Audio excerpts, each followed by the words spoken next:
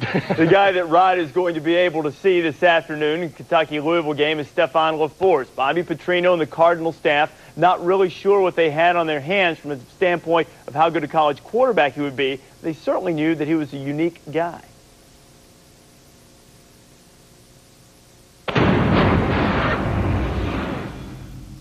My name is Stefan LeFors, quarterback the University of Louisville. Sign language was probably my first language.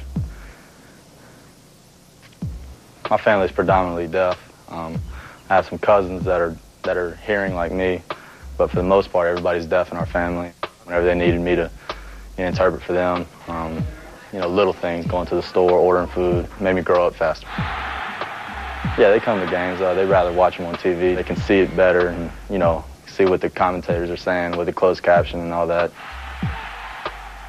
You know, I was blessed to come out hearing, and, uh, you know, I thank God every day for that. It is a remarkable story about Stefan and his family and overcoming those challenges in real life, probably enabling him to hold off challenges from talented freshman quarterbacks like Brian Brohm that have challenged him at Louisville, Michael Bush last year. Certainly not the only weapon Louisville has. Yeah, we've seen him, and he's a terrific player, but Louisville is really predicated upon Eric Shelton. You're going to see a big running back, the former Florida State player, at 151 yards in this game. Stefan LeFors is as beautiful as a quarterback, but the bottom line for Louisville to win this game, established to run against that great defense Mark talked about earlier. I think it's the same thing for Kentucky. You've got Arliss Beach. He's got to run the ball effectively to take the pressure off a quarterback, Shane Boyd. But watch Shane Boyd run with the football in this game. Very athletic. The Governor's Cup up for grabs. Let's go out to Louisville now and Dave Pasch.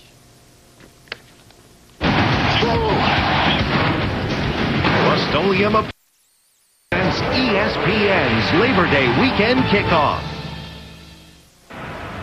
Only about 60 miles separate Lexington and Louisville. Wildcat fans coming past to Papa John's Cardinal Stadium as one of the more unheralded yet intense rivalries is renewed here today. Kentucky is 4 and 1 lifetime in Louisville, but the Cardinals have dominated the series of late, winning four of the last five overall. The battle for the Governor's Cup is next. It's that day!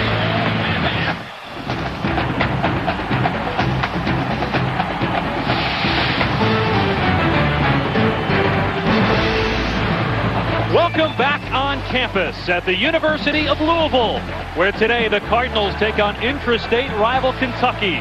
Louisville won nine games in 2003. Kentucky won just four and had a 1 and 7 record in the SEC. Tenth time in 11 years that these two schools have opened up against one another. Everybody, I'm Dave Pasch. In 2002, Kentucky essentially ruined Louisville's season. The Cardinals were a preseason top 20 team. They were even talking BCS. But Kentucky came to Louisville, knocked off the Cardinals 22 to 17, and Louisville finished that year 7 and 6. But Rod Gilmore, last year Louisville got revenge and turned up the intensity on this rivalry. I'll tell you this, Louisville knows how to pour gasoline on a fire. Let's go back to last season and take a look at what happened in this ball game. It was the fourth quarter. Louisville was dominating, physically pushing Kentucky all over the field, up by nine, running out the clock. So you take a knee and end the game, right? Well, they don't do it on fourth down. They get inside the five-yard line, and instead of taking a knee to end the game, they give Lionel Gates the ball. And what's he do? He gets a touchdown. Oh, did that tick off Kentucky? No doubt. They are laying for that. They are prepared for it. They wanted their own payback today. And that rivalry has a lot of heat to it because of games like that and accusations of running up the score like that. But it actually goes much deeper for the programs. They compete in recruiting for the best Kentucky high school players. Four of the last five high school Kentuckians crowned Mr. Football in this state have gone to the University of Louisville. Interestingly, Louisville has won four of the five last game against Kentucky. And so this is huge, not just for the Heat, but for the future of these programs. Certainly, Trevor, the team that wins this game earns more than just bragging rights for one year. Kentucky has won two of the last three games in Louisville, with the lone loss coming in overtime. Can the Cats do it again, or is this one for the Birds? Who will hoist the Governor's Cup in 2004? We find out next. ESPN's College Football Sunday. Brought to you by Bacardi Silver Lyman Premium Malt Beverage. Flavor your night. Louisville and Kentucky getting ready to do battle here. First, though, let's check in with the fourth member of our crew. Let's go down to the sideline and Dave Ryan. Right, Dave, thanks so much. Louisville in this game has two very distinct weapons. One is special, one is unique. Let's start with unique and Michael Bush, the sophomore running back at 6'3", 240 pounds. But the question is, is he just a running back? He played five different positions in preseason camp, three on offense, two on defense. Coach Bobby Petrino says he'll play up to 15 snaps on the defensive side of the ball. And then there's special, the all-world quarterback recruit, Brian Brohm. His two older brothers were stars here. His dad, Oscar, was a quarterback here. He should play in this game as well. Guys, keep these numbers in mind for Brian Brohm. 119 touchdown passes as a high school quarterback, three state titles, one National Player of the Year honor. The Brian Brohm era starts today. Brohm will not start this game. That will be quarterback Stefan LeFors, a first-team All-Conference USA, Dave. But Brohm will see action, although head coach Bobby Petrino would not tell us in our meetings yesterday when Brohm will play, only that he will play today. About 86 degrees humidity is about 70%. I'm sure Dave will be keeping track on the field of the temperature. It's expected to feel like about 100, 105 on the field. Clint Ruth will boot it away for Kentucky. Broderick Clark and Lionel Gates to receive. And we're underway from Papa John Stadium. It'll be Broderick Clark, one of the top return men in the country two years ago, was hurt by a hamstring most of last year, and he's taken down right around the 20-yard line by John Sumrall. Stefan LeFors replaced Dave Ragone last year and led the Conference USA in total offense. Threw for the third highest yard total in school history, rushed for over 400 yards, the most ever by a Cardinal quarterback.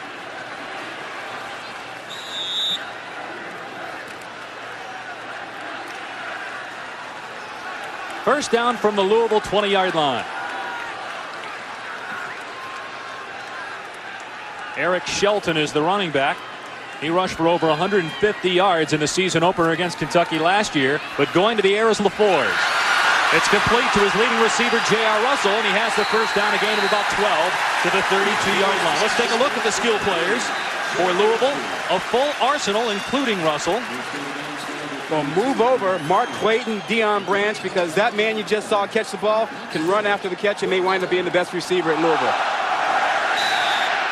As we talked about earlier, we'll see three running backs. Shelton, who's 247 pounds. Gates is 225. Bush at 240. Russell at 1,213 yards last year. He's caught a pass in 23 straight games. First down from the Louisville 32. This is Shelton. Makes a man miss. And then finally tackled at the 36. Gain of about four on the play. The Louisville offensive line is big, but it's also very athletic. Well, the Wildcats of the SEC are going to face probably the best line they'll face all season long, and they'll need Sweet Pea Burns, their best football player, to be healthy. He might only play about 20 plays, but boy, they'd better count against this offensive line. Burns had 18 tackles for a loss last year, the most in the Southeast Conference. Second down and six, and an empty backfield. Five wide for LeFors. LeFors, with tons of time, has a man wide open. Joshua Tinch down inside the 30-yard line.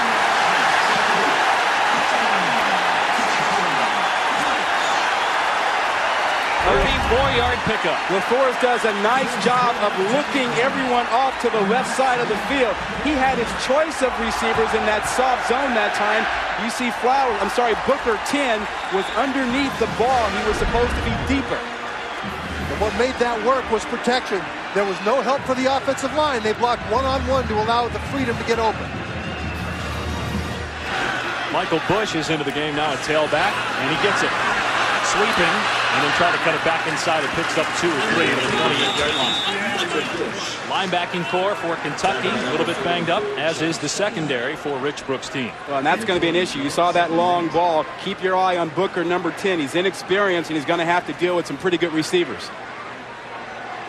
Muhammad Abdullah, a second-team All-SEC member last year, had four interceptions, but all those came in the first five games. Second and eight for Louisville from the Kentucky 28-yard line. They go in shotgun. Inside running play, Lionel Gates to the outside 20. And finally cracked out of bounds inside the 10. an 18-yard run by Lionel Gates. Carl Booker on the tackle. Travis Leffew, left tackle, came across and threw a terrific block. Watch him come across and he won't do a terrific drive block, but he gets just enough of his man to slow him down and allow Gates to get that corner. And this is a read play. You saw Leffew check out that side, and then Gates gets to the outside. Once Leffew, LaFleur makes that read as to the outside, he allows him to make that decision to go outside himself. First down and goal at the Kentucky nine. Rich Brooks told us this week, best part of their team is their defense. Not a good start here for UK. But this is an excellent play in the backfield as Gates is ripped down by Ellery Moore, starting defensive end. Well, penetration is how you stop great running backs. And you see Ellery Moore, number 98, get through. He splits a double team and stops the back before he has a chance to make his cut. If Kentucky has any hope at all of stopping this three-headed monster of great running backs, it's by getting that kind of penetration. Moore had a couple of sacks last year. That tackle for loss of four yards, and it's second and goal now from the 13, and then the shotgun is LaFleur. Remember, LaFleur is a danger to run the football as well. Here he goes to the air, and it's caught by Montrell Jones at the six-yard line. Jones, a transfer from Tennessee, but is a Louisville native. At 22 catches as a freshman for the Volunteers two years ago. Carl Booker on the tackle. You know, we talked about this rivalry. Well, Montrell Jones, 86, caught that ball. He's part of the rivalry. He's a guy from this area, Mr. Football back in 2000, and there are quite a few of those guys on the Louisville team. A lot of guys on Kentucky that are from Louisville, including wide receiver Keenan Burton, who's a star. We'll see him when Kentucky gets the football. Third down and goal from the six. Big play here for the Kentucky defense. LaFleur's rolling out. Again with tons of time, takes off. Dives to the goal line. No signal yet. He's going to be down just shy of the goal line. It'll bring up fourth down and inches. What do you do, guys? Well, all receivers are covered, and this is one of the advantages of having a senior like Stefan LeFors. He sees everybody covered, and actually, we didn't expect that. We don't expect Kentucky to be able to do this. LeFors didn't either. So he pulls it down and runs rather than makes a risky throw and risks an interception. And they go for it on fourth down because they've been pushing them around on the field. They got over 200 yards rushing against them last year. They should be confident in their ability to run the ball. And Gates and Shelton are in the backfield together. Shelton is the up back on fourth down and goal. Gates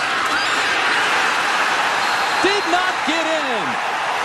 Great stand by the Kentucky defense.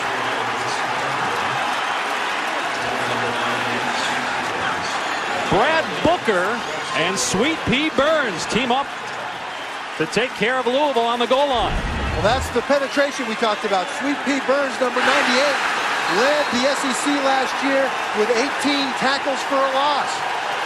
And he teams up to help make this happen. Now watch Booker get up there. Look at that. That's a linebacker stuffing it on the goal line. He's reading the back, flying right in, matching his movement with the back's movement and catching him at the highest point. He lost yardage on that play. That is huge for Kentucky. Huge to get that stop. But quarterback Shane Boyd has to start on his half-yard line. Boyd changing the play. Still plenty of time on the play clock. It's at 11. Boyd. Keenan Burton with a catch and gives Kentucky some breathing room, gain of about six or seven yards. Well, Kentucky lost four of its six offensive linemen last season, but there's another 300-pounder missing. Jared Lorenzen's career as quarterback at Kentucky is over. It's Shane Boyd's team now. The big fella. How big was Jared Lorenzen? Uh, well, you know, he stood next to the Empire State Building, and King Kong climbed him. he was listed at 285, but come on, tack on about 10 or 15, maybe more. Second down and three at the Kentucky eight. Kentucky goes with three wide. And Boyd has to call for time.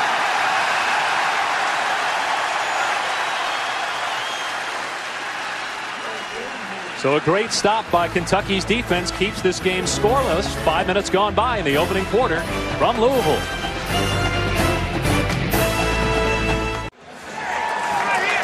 Back in Louisville, the Cardinals drive down the field only to get stoned on the half yard line. Let's look at the backs and receivers for Kentucky. Keep in mind, J.R. Russell, good on the other side, but Marcus Jones is a guy up front that is almost as fast as J.R. Russell is for Louisville. Keenan Burton, a sophomore from Louisville, was not recruited by Louisville. Well, it's a great rivalry game. And the Louisville fans were more into it when Louisville came on defense after they got stuck on the half yard line. Second down and three inside the Kentucky 10. Arliss Beach on the call. Nowhere to go. Stacked up. Minimal gain on the play. Elvis Dumervil and Marcus Jones on the tackle for Louisville. The offensive line for Kentucky features two sophomores and a junior. And man in the middle, center Matt McCutcheon is making his first ever start. He, we mentioned Marcus Jones a moment ago. You saw the line have trouble with him on that last play. He's a quick guy, but he's also tough inside. And this offensive line for Kentucky is, has the most pressure on it of all the groups on the field today. Very young, very untested. Also undersized. Third down and two after the one-yard gain. Louisville fans make it hard on Boyd to get the signals to his receivers and linemen. It's an option, and Beach makes a man miss and gets the necessary yardage for the first down. Should have been taken down in the backfield, but a nice move picks up five yards. William Gay makes the tackle.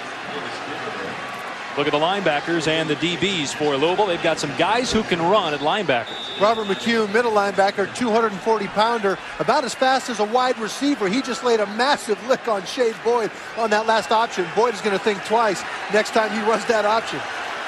Kerry Rhodes, the free safety, a big kid, 6'3", 315, will also play some corner, some man coverage on Kentucky's best receiver, Keenan Burton.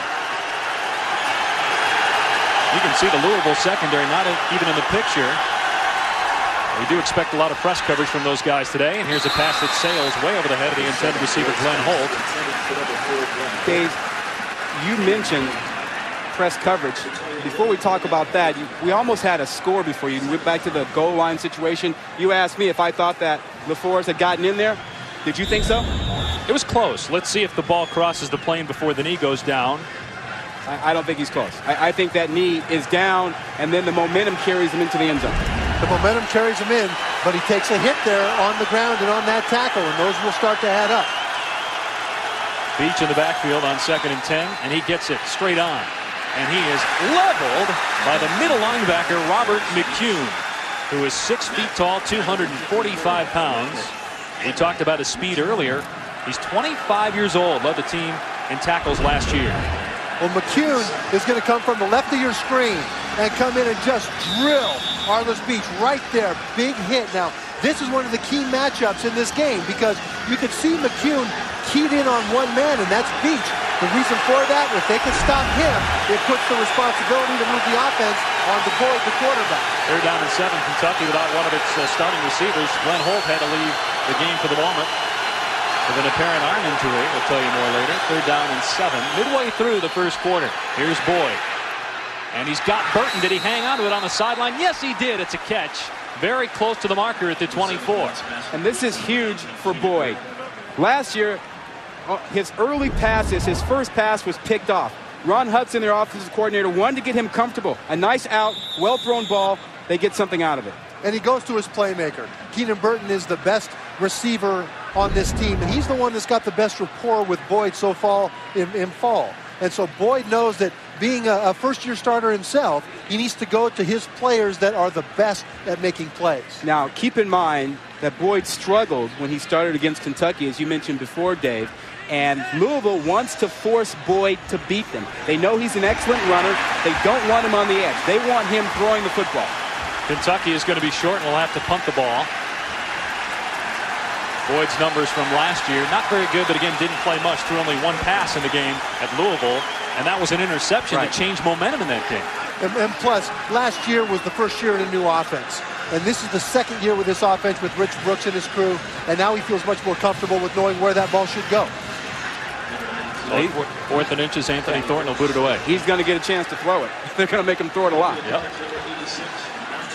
It'll have to wait as Louisville and its potent offense should get the football. Montrell Jones back to receive the punt.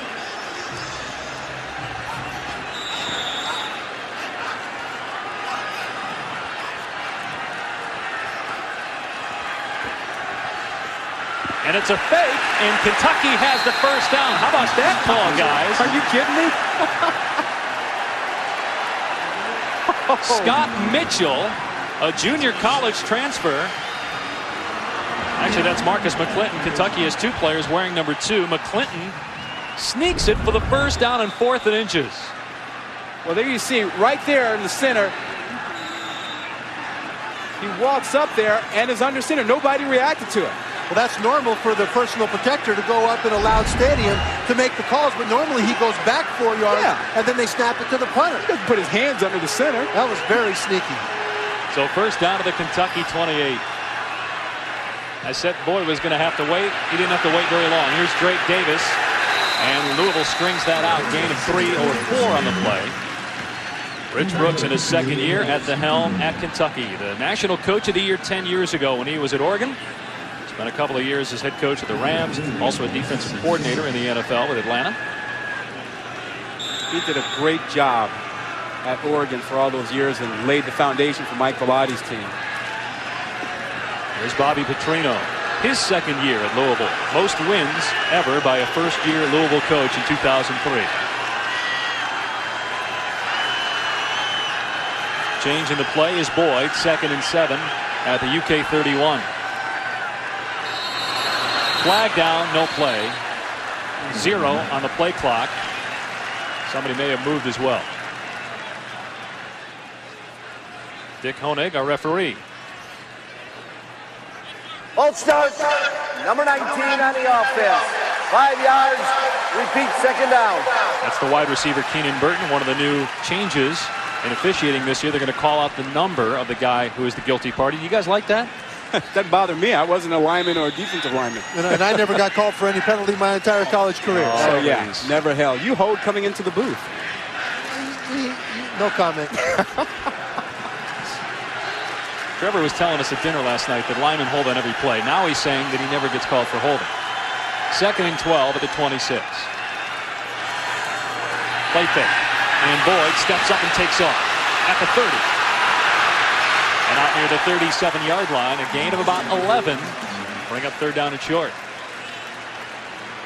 Well, how would you like to be 300 pounds and only 17 years old and in your sophomore year?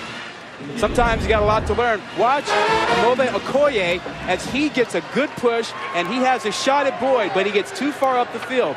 He's a young man who last year was only 16 years old as a freshman, Trevor. And look at his body. He, he looks to me like he started shaving before I was even born. He was born in Nigeria, tested into the ninth grade when he was 12 years old. Third down and one.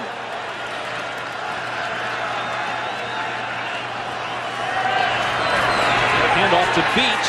Not going to get it. Ankle tackled by Bobby Leffew in the backfield. And boy, the Louisville coaches glad to see Leffew healthy. He's had some knee problems. It's a two-yard loss. Kentucky will punt. Bobby Leffew is turning it around on Kentucky. He'll come from the left of your screen and get right in and make this tackle. When you make it in the backfield, the back has nowhere to cut. That's the only way to stop it when it's third and that short. Give a little credit to Marcus Jones, though, as he was slanting inside and he took away that alley so that the running back had to go outside further. Thornton on to punt, at least we think. Back at the 21. Fourth and two. Montrell Jones at the 22 to receive. Good kick by Thornton.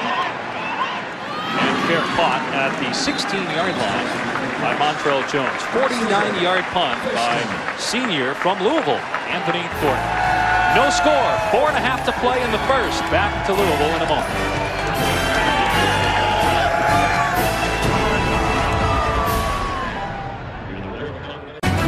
ESPN's College Football Sunday is presented by Rust-Oleum Epoxy Shield for the ultimate garage floor. And in part by Kia Motors. Kia, make every mile count.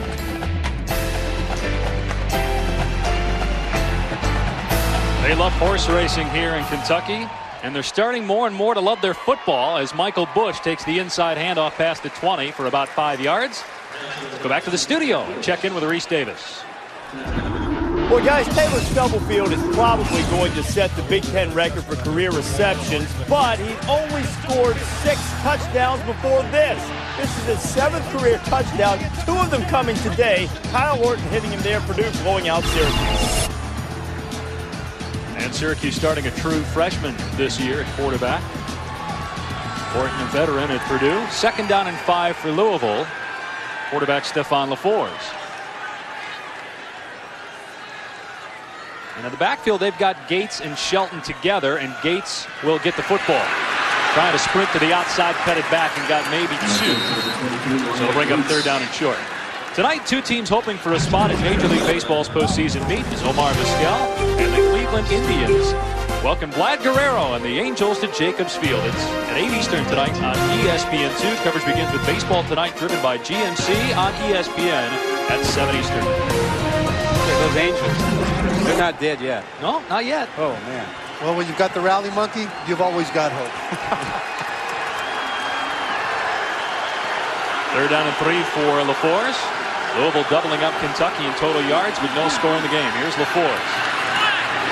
And the pass is broken up at the 29-yard line. Russell was the intended receiver. Irvin Flowers, who was banged up this week with a quad injury, broke up the pass. Flowers was reading LeFors' eyes. He's going to see the receiver come in, and he's going to wait until the ball's thrown. Now he's just going to wait, wait, wait, wait, and now he's going to come in. He reads the quarterback's eyes, and that's why he's able to break up that pass. That's perfect. When you have a quarterback with no backs in the backfield, three-step action, you don't need to wait. He's got to get rid of the ball quickly. Brent Moody to punt for Louisville. Drake Davis standing at his 32 to receive the kick. And we've got a whistle and a flag down. Going to be against the Cardinals. False start, 31 on the offense. Five yards, fourth down. Yeah, so far, Kentucky has played a cleaner game, and the momentum and the intensity of the rivalry has helped Kentucky more than Louisville. Well, they've got to be real glad to stop Louisville three and out this drive when the first one went all the way down to the one-yard line. You don't want the idea of here we go again against this high-powered offense. Moody with an excellent kick, driving Davis inside the 25. Davis up past the 30 and a 32-yard line. Tackled by J.T. Haskins, who just committed a penalty moments ago. Still no score. Under three minutes to go. Hot and humid day in Louisville. Back in Louisville, Kentucky fans have made about the hour and a half drive to here in Louisville from Lexington. They've got good reason to be excited after a pretty good first series from quarterback Shane Boyd. And guys, here on the field, you really see what kind of presence he's got. As you mentioned, Dave, he didn't start much last year. Jared Lorenzen was their guy, but on the first drive, with his back to the loudest part of the stadium, he audible correctly, got them in the right play. Very good field presence early. A good sign for Kentucky as Shane Boyd. Dave, last year, Boyd in the same game had a touchdown passing, touchdown receiving, and touchdown rushing. And here he pitches on the option to Beach, and not much room on the sideline. Kerry Rhodes, the free safety on the tackle. Shane Boyd is running the offense that Michael Bishop and Ell Roberson ran at Kansas State under Ron Hudson. And that offense could be perfect for him because he's got such great running skills and such a strong arm. And much better for him than Jared Lorenzen was able to run it last year. Lorenzen, good enough feet to move around Trev Alberts, but not good enough to run this offense to perfection. Boyd is the right athlete. and the coaches told us that Boyd's arm is as strong as Lorenzen's arm. Boyd also a pitcher drafted twice by the Minnesota Twins. Here Boyd takes off. And he nosedives to the 37, gain of about three to bring up third down and five. So are you uh, Are you jumping on Trev already? You think he's going to fire somebody else? I mean, how many, how many guys did he fire yesterday? Yeah. He fired Oklahoma's defensive staff because they didn't look uh, fired up enough for him. I think Mark helped him. They fire. They should fire LSU's Nick Saban. They had a close game too, right? They, had a close game. they also yeah. had to fire Mike Riley from Oregon State because they didn't pull it out. I mean, Trev's got everybody fired after the first week. What are you going to do to the kicker then if you fire all those guys? Make him the head coach. Nobody left. Three missed PATs. Got to feel bad for that kid from Oregon State. Boyd to the air and through the hands of the tight end Dobney. Incomplete. Fourth down. Pass a little bit high, but probably could have been caught. But that is the game plan for Louisville. Get Boyd into third and five, third and six or more, and let's find out just how accurate a passer he is. And that's going to happen when you only complete 35% of your passes the previous year. So the game plan for Kentucky, let him do short passes, let him get used to it without falling behind, let him get acclimated to the speed of this game as the number one guy. So far, they're in that position. Anthony Thornton getting a lot of time on the field here in the first half. Montrell Jones steps forward at the 22. And Jones with a decent run back, and he fumbled the ball at the 31, but uh, they're going to say his knee was down. Recovered anyway by Louisville. Eight-yard return after a 41-yard kick. College football's first weekend continues on ESPN tonight at 8 Eastern as UNLV takes on Tennessee. Remember what UNLV did early last year to Wisconsin. It's all part of Labor Day weekend presented by Rust-Oleum Epoxy Shield on ESPN. For more, go to ESPN.com talk about Tennessee. Tennessee almost had the young quarterback here, Brian Brohm. And there he is, the freshman from Louisville. USA Today National Offensive Player of the Year.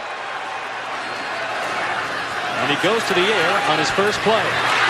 And his pass is caught by Russell. Good balance. And Russell finally down at the 35. And four yards in the play. Sweet P. Burns on the tackle. They love this kid, Brian Brohm. You have to ask yourself, what makes him so special? Well, how about a quick release? The time it took that ball to get out from the time he made up his mind wasn't very long. No, he's perfect for this offense. This is an actual, honest-to-goodness NFL-style offense that, that asks the quarterback to make the same kind of reads that he'll have to make if he makes it to the next level. That's one of the reasons that Brohm chose Louisville. The biggest reason, however, his brother, Jeff Brohm, former NFL quarterback, is the quarterback coach. As Shelton powers to the 48-yard line for a 12-yard gain. Muhammad Abdullah on the tackle. Shelton from Lexington, Kentucky, transfer from Florida State. Watch number 23 from the left of your screen, fullback. That's Lionel Gates. He's one of their great tailbacks, lining up at fullback, blocking for his buddy Eric Shelton.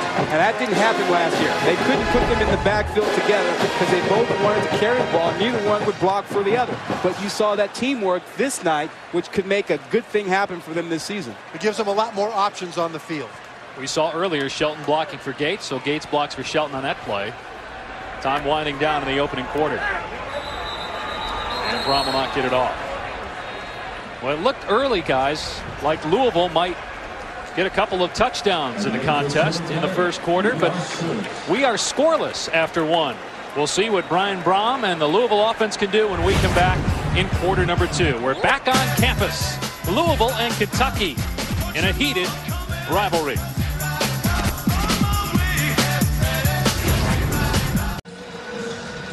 True freshman Brian Brohm and a quarterback for Louisville. His brother Greg, the director of football operations at Louisville. His other brother, Jeff, is the quarterback's coach. Spent seven years in the NFL with six different teams as a player.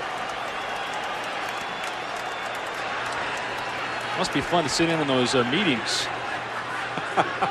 Stefan LeFors just probably plays referee. Here's Brian Brohm with time, and then the pressure's on, and he is sacked, thrown down by Raymond Fontaine. I wonder what big brother quarterback coach is saying on the sideline now because he can be tough on his little brother. He probably would have liked for him to get rid of this ball. Well, the scouting book on Brian Brohm is that he needs to get rid of the ball a little quicker than he has been so far in fall. And so he dropped back, didn't see anybody open, but I will give the freshman this credit. Rather than force the ball into something he didn't recognize, he pulled it down and ran. Louisville last year only allowed 13 sacks after giving up 46 two years ago. There's a screen and Bush takes what would have been a seven-yard loss and gets maybe a half yard of play. Ellery Moore made the tackle.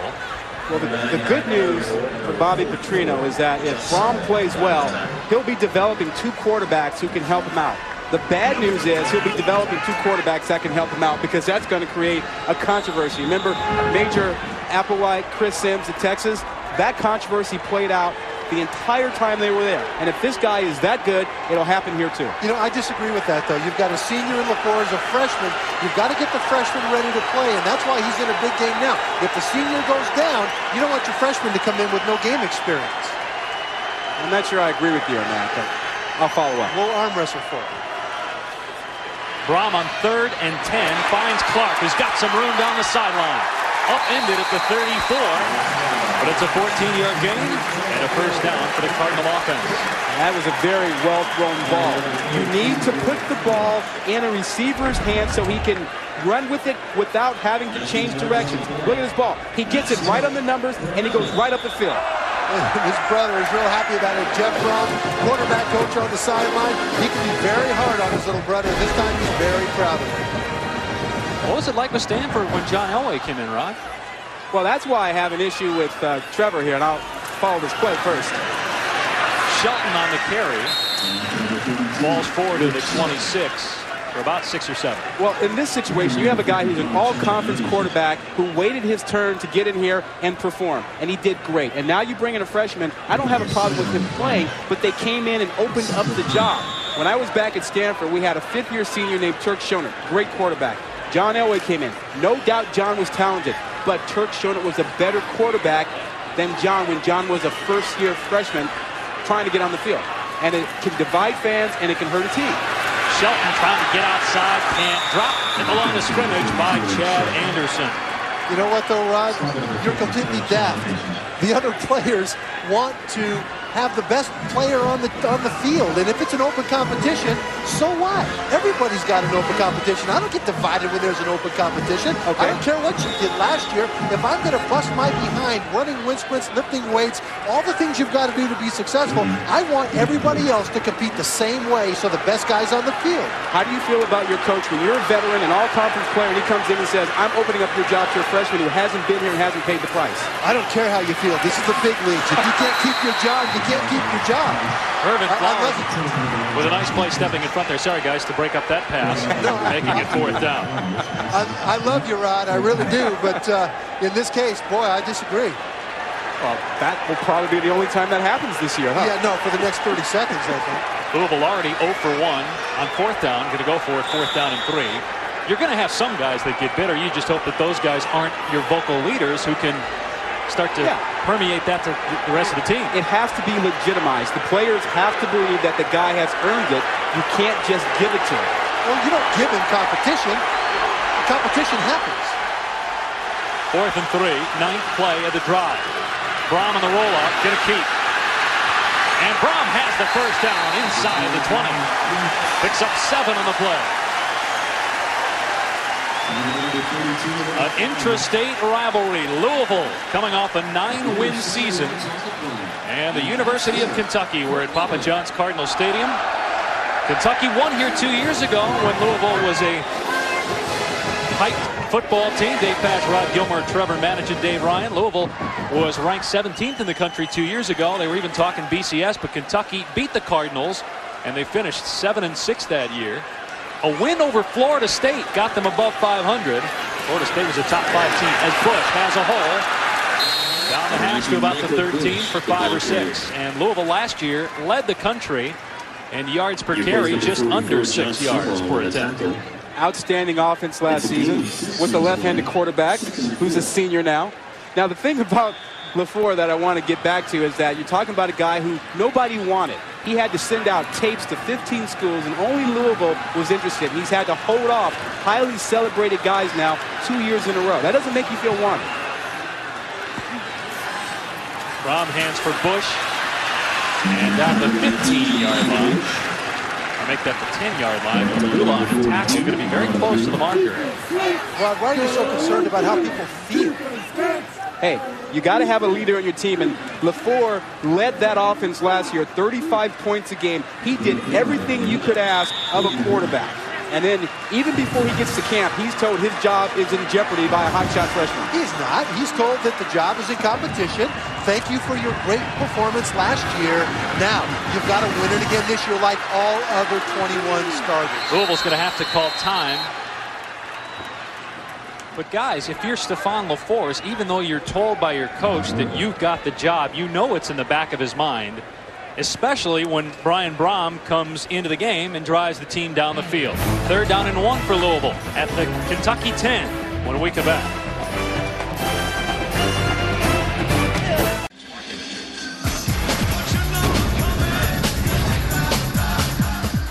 Back on campus in Louisville, Kentucky.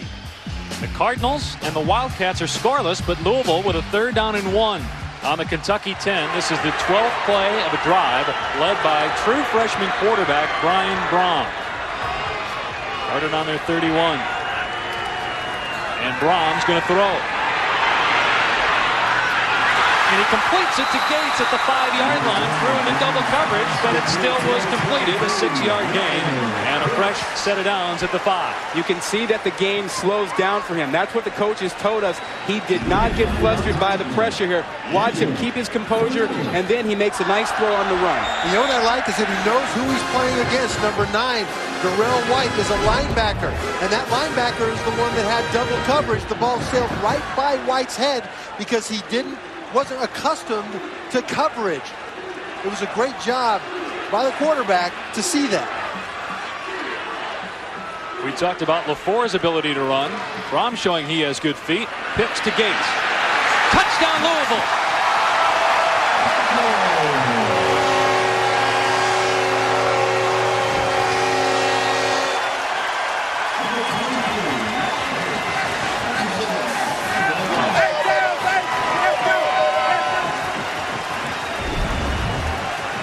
Watch the block. They'll get out that way. Shelton just really goes in and cleans things up out there. And the speed for Gates takes care of the rest of it. You know what? Gates blocked for Shelton earlier. Now you've got Shelton blocking for Gates. And Gates is the fastest of all these three. The best able to run that outside play. Arthur Carmody's extra point. And Louisville strikes first. Lionel Gates, who had 11 touchdowns in 2003, gets the first of 04 for the Louisville Cardinals. Ryan Brohm on his first collegiate drive goes four of five for 29 yards. And on that third down to set up the touchdown, he sees that it's a linebacker guarding Gates. And he knows the linebackers aren't very good at coverage. And so this ball's going to be in the air. And right now you see Gates at the right of your screen. He doesn't even look back for it. It goes right past his head. If that had been a, a defensive back, he would have turned back and picked it up. But Brohm, knowing that it was a linebacker, took that risk, and it was a good one. Dave, I liked Brohm's composure. Well, you said the key thing. The game slowed down for him. You don't expect that from an 18-year-old kid. To the 20-yard line, Keenan Burton. Past the 40, a flag down, though. As Burton finally is stopped at the 45-yard line by Preston Smith. But again, a penalty flag down. 41-yard return that uh, will likely be negated. And it will be. Rich Brooks gets a good return, but instead, because of the penalty, Kentucky will not have good field position. On the return, 10 yards from the spot of the foul, first down. Rich Brooks is new to this rivalry, but he is not unfamiliar with heated rivalries since he was part of that Oregon-Oregon State Civil War rivalry up in the Northwest. Pacific Northwest. Well, he got a pretty good feel for it last year, guys, especially when uh, Louisville decided to call timeout and punch it in late in the game when the contest was already decided. Yeah, he, he didn't like that. We asked him about that, and he said, you have to ask those other guys.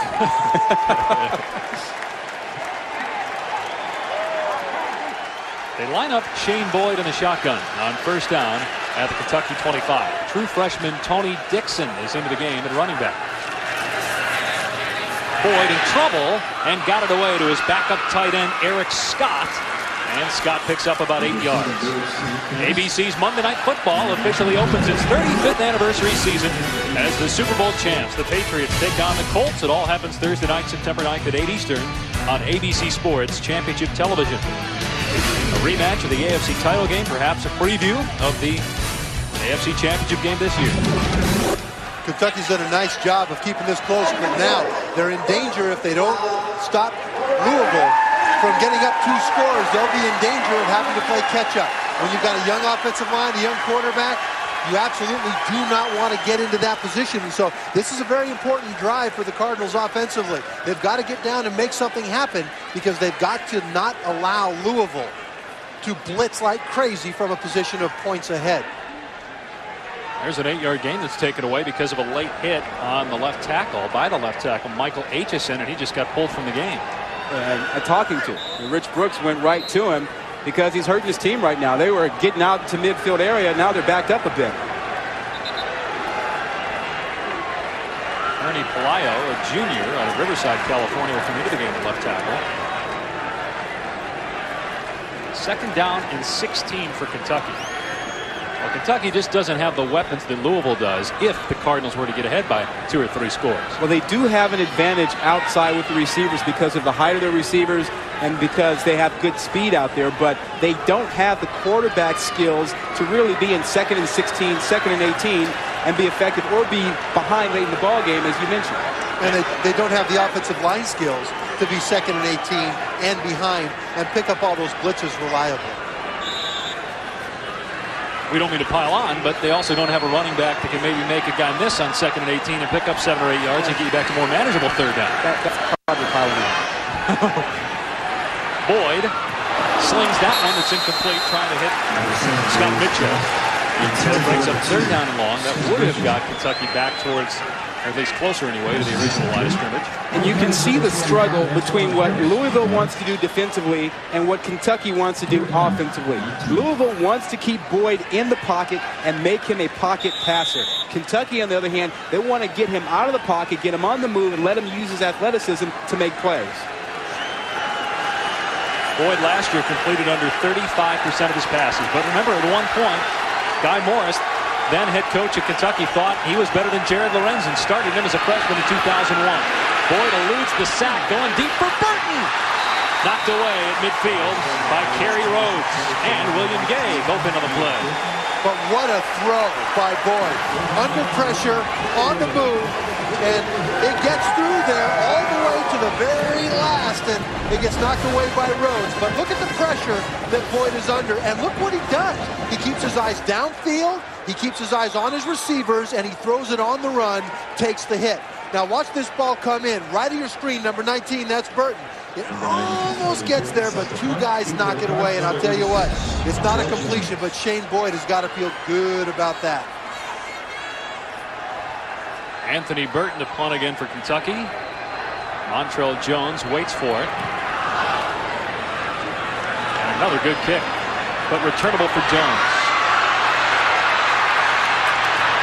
And Jones to the 48-yard line for about 12 yards. Late flag flies in.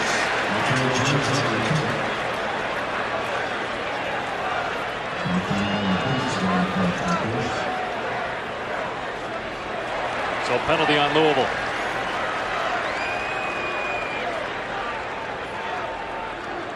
Turn. Lock it bet. 25 red. 10 yards from the end of the run. First down. That penalty on Antoine Harris. Let's check in with Dave. All right, Dave, thanks so much. Trainers on both sides are being very careful today about cramps because it is so hot. One reason it's field turf here at Louisville. It's the second year they've used this surface. Now there's a rubber and sand base inside. If you dig your hands in there, this all absorbs the heat, so it is very hot on the field. Some of the trainers stuck a thermometer in this surface before the game. It was 120 degrees on the field, but there is a breeze, so beyond the surface, it's not so bad, guys. And imagine, Dave, if that was artificial turf, how hot it would be on the field. That's one of the benefits of field turf, not as hot as the artificial stuff. First down on the Louisville 38. And Brohm is still in the game at quarterback. And Shelton gets the call on the running play. And Shelton carries a couple of Kentucky players with him to the 42. Sweet P. Burns, who wasn't supposed to be playing every single down because of a knee injury, has been out there a lot, made the tackle on that play. He's got three stops already in the game. Well, the disadvantage for Burns is that he doesn't have a whole lot of depth behind him, whereas Louisville has a lot of depth at running back. They can platoon them, and they've talked about that heat, 120 degrees on that field turf. What's worse is that that retains moisture and it throws up humidity. All I know is that once you get a cramp during a game in heat like this, you just cannot get rid of it. You're pretty much done.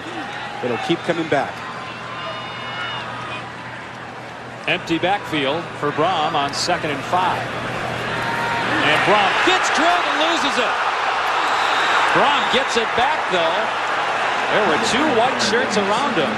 Jarrell White drilled Brohm, but he gets the ball back.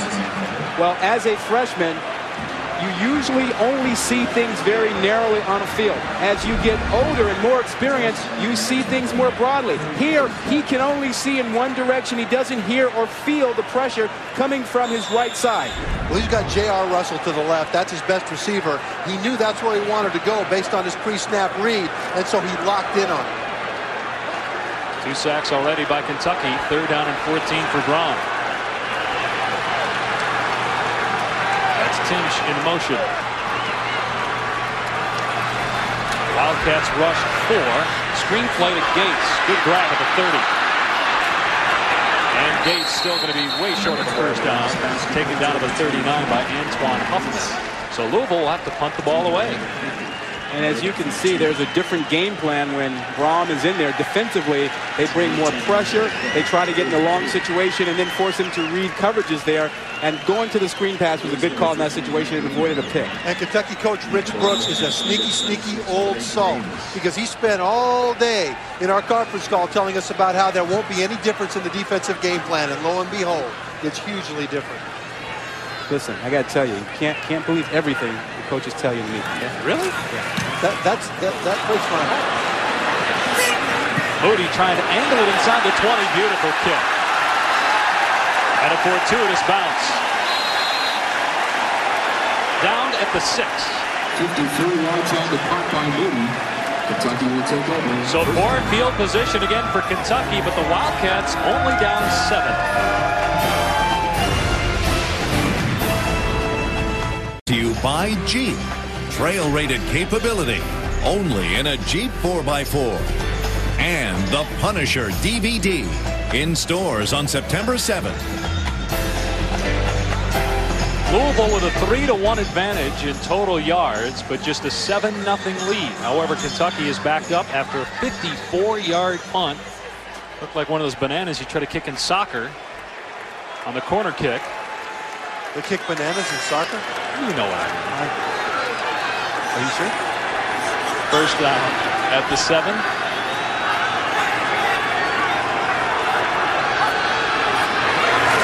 And Boyd with a quick drop and slings it up to Jared Parker. Robert McCune on the tackle as we check in once again with Reese. Well, guys, the number 44 carries great significance to Syracuse. Jim Brown, Ernie Davis, Larry Csonka, Floyd Little.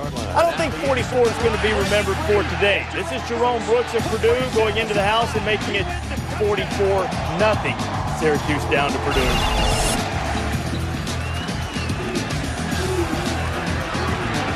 Yeah, not the type of 44 that Orange fans wanted to see, of course. And there's the uh, total yards we talked about earlier. Second and 10. They go three wide.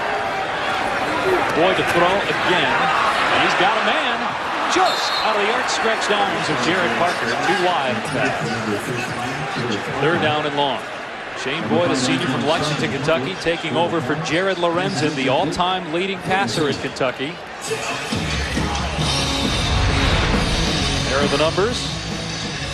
One of those numbers probably a little yeah. skewed. Yeah, let, us just get rid of that right there. And why don't we put something like 305?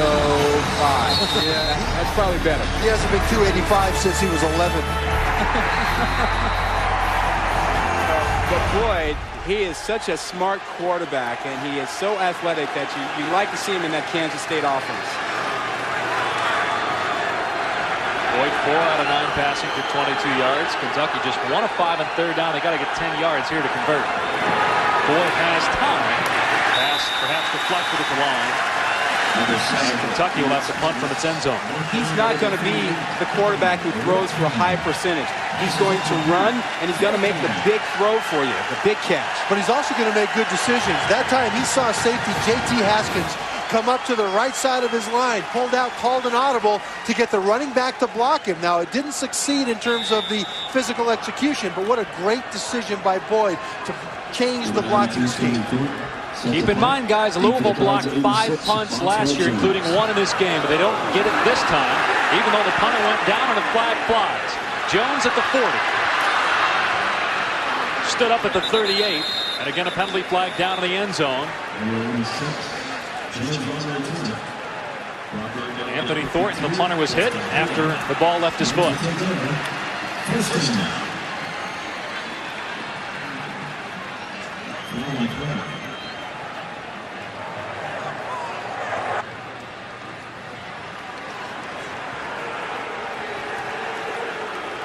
So a huge penalty because that keeps Louisville's potent offense off the field maybe for the rest of the half.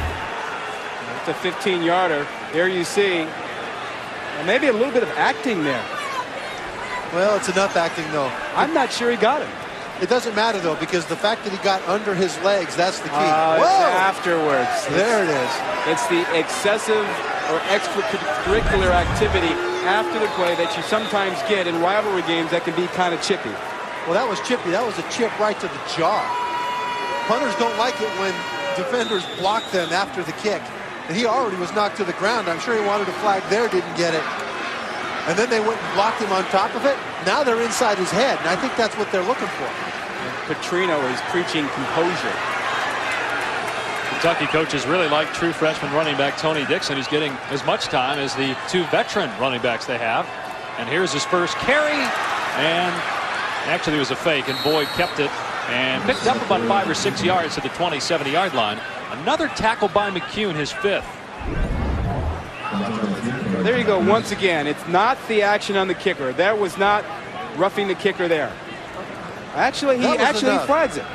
That was he enough. does. He threw the flag on that one. I don't get that one because it didn't look like he really got it. That was enough. Then Antoine Sharp gave him some extra and kind of got him under the jaw as well. It almost could have been either one. Yeah, but he threw the flag on the, the dance, the act in the end zone. Should have been on the late bump by Sharp. Second and four. Boyd steps up, eludes a sack, finally goes down as he gets back near the line of scrimmage. Another play made by Robert McCune. Let's go back to this play. Is this roughing the kicker? Well, you know, I it think looks it is. like he barely touched him, but you do have to allow the kicker to come down. To come There's down. the flag. Yeah. And because he didn't come down cleanly, that's why he had to throw. But now look at this. Bang, up in the chin. And so really they could have called either one. No, that's okay. That, That's a it block. That's be- a legal No, block. it's, it's a block unless you get him under the chin. But it was called on the original because of what you said, Rod. He wasn't allowed to come down cleanly. Yeah, I didn't think that he'd actually stepped on him. I thought he'd actually kind of acted his way out of that, but on that replay, it looked to me like he did touch him a little bit. Big play for Kentucky. Try to keep that clock moving. Just one of six on third down.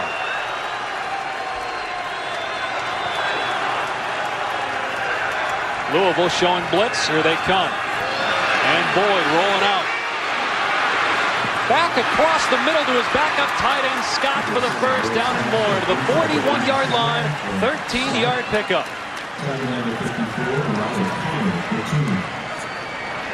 Nice run and throw by Shane Boyd. And another smart decision. He wanted to go outside to Burton right here, but Burton is going to be held all the way down the field. It's not seen, it's not called, and Boyd does a smart thing. There's a hold, you can see it, but Boyd decides he's not going to go out there to that guy because he's being held.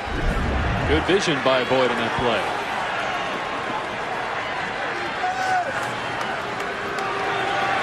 From the 41. There is the first carry for true freshman Tony Dixon. Picks a hole and gets up to the 48-yard line, about seven yards on that carry. And the running game starting to work for Kentucky here in the second quarter. Tony, Dixon, a freshman, he, he was a cornerback coming in. Corner, defensive back. And they switched him over to running back just because he had such amazing burst. They wanted to see what he could do in the backfield. And nobody could tackle him, nobody could catch him when they had him in fall camp. So they're trying to give him a shot out here at game experience, see if the Louisville Cardinal defense can catch him. Dixon from Parrish, Alabama, holds the state record, had 43 touchdowns in one year. Second and three. And this time, the freshman fumbles the ball, and Louisville has it at the 45-yard line. Brent Johnson forced the fumble and recovered it for the Cardinals. They've been running a read play and then sometimes an off-tackle play. And you always wonder about the exchange on those plays. This is a simple handoff. He got it cleanly. He just didn't secure the ball as it got poked out of there. And Montavious Stanley, number 92, sticks his hand in before Dixon can get it. Now look at number 92. He reaches his right hand across. And while Dixon is looking at the guys coming into his face, from the side, Stanley pulls it out. Coach is reminding him that they still need him. He can't go in the tank now. He'll get another chance as LeFors is back into the game. And he fires to Russell. Penalty flag down. That might be against Russell for pushing off.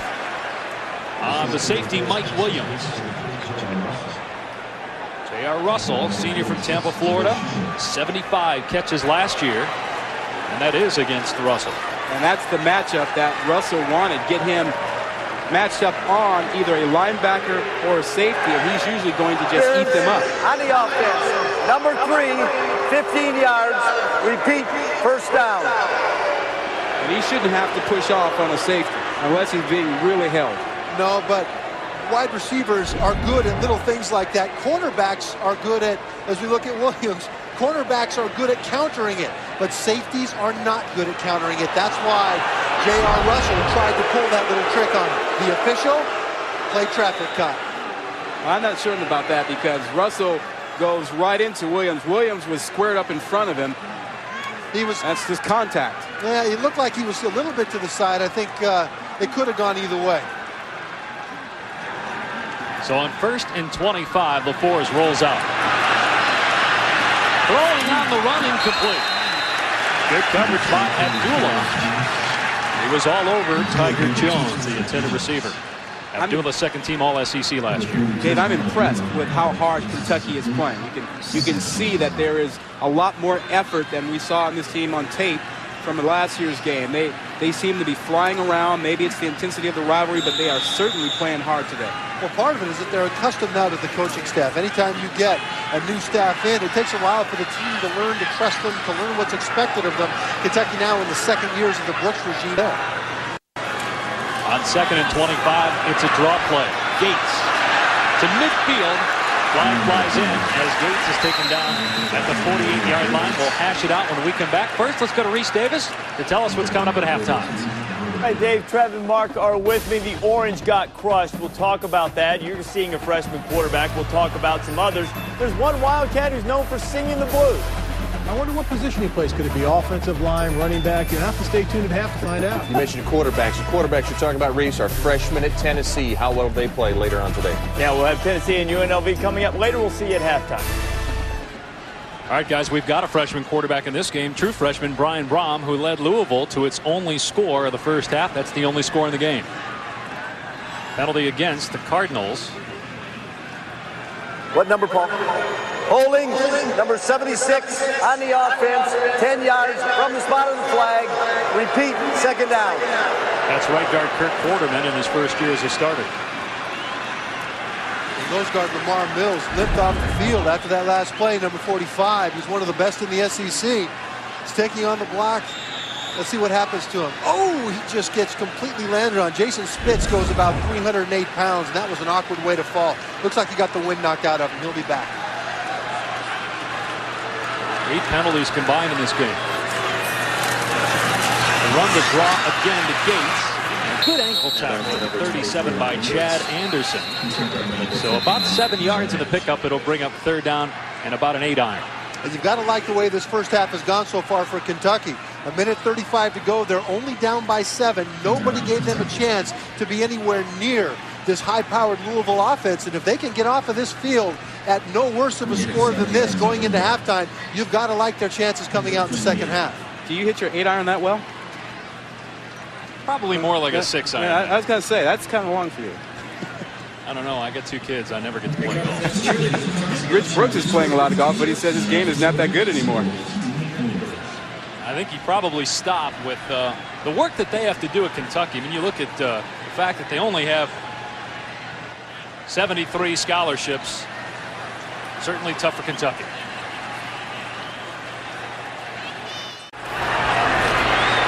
Welcome back to Louisville. Stefan LeFors is sacked on third down and 28 by B.J. Parsons. He's the backup to Sweet P. Burns. He makes the play on LeFors.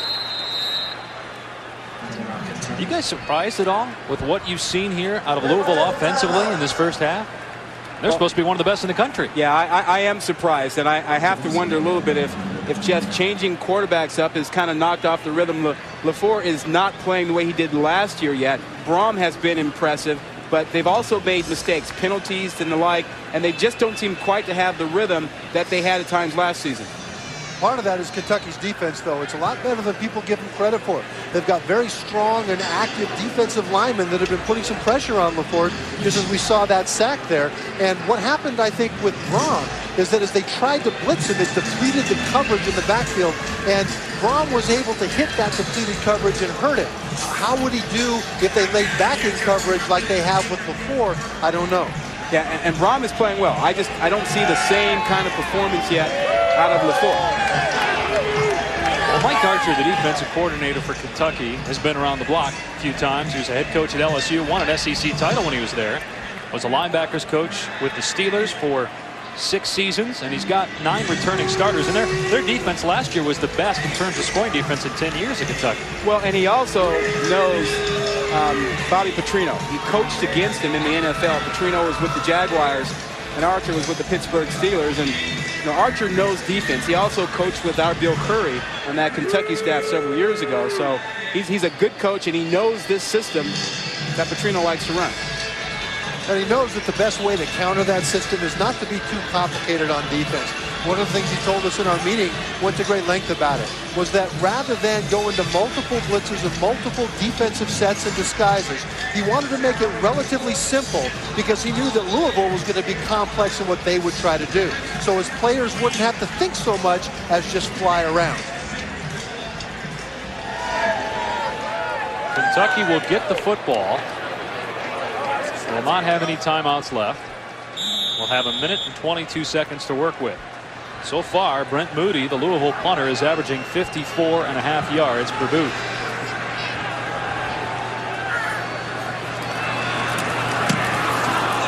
This is not a good one. But another favorable bounce, and it goes through the wickets of Drake Davis. And Kentucky's going to have to start from its 12. 51-yard punt by Moody. Kentucky will get the ball back. 111 to go in the opening half. 7-0 LaVille.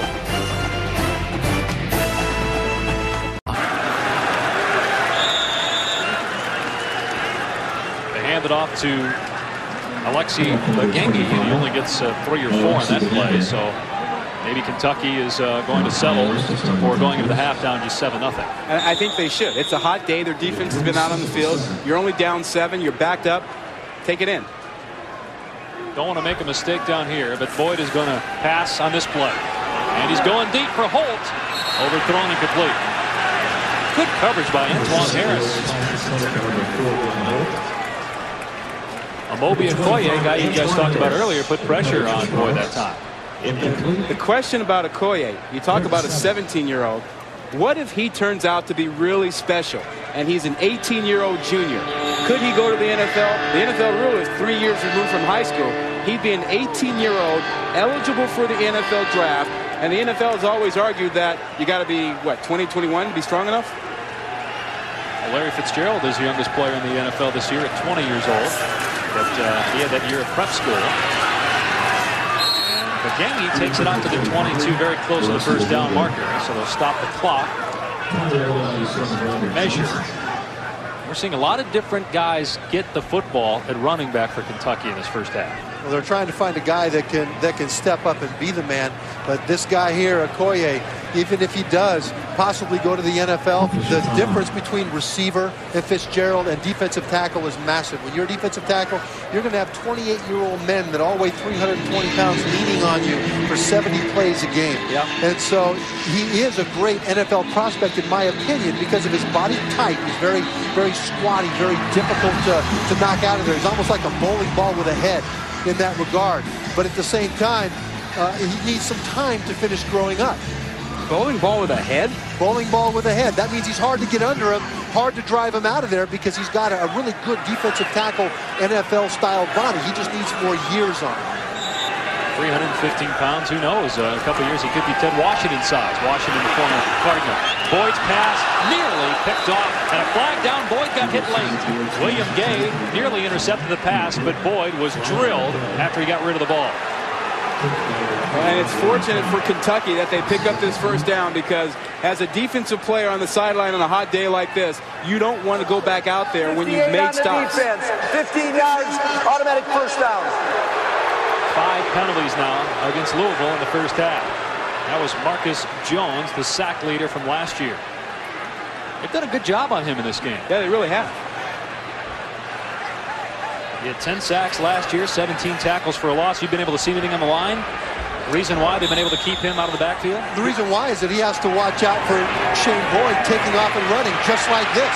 See, he breaks contain. The reason he breaks contain is because Bobby Leffew came inside to maintain his rushing lane. That's why we don't see Marcus Jones getting as many sacks because he's got to be more disciplined with the lanes he takes to rush.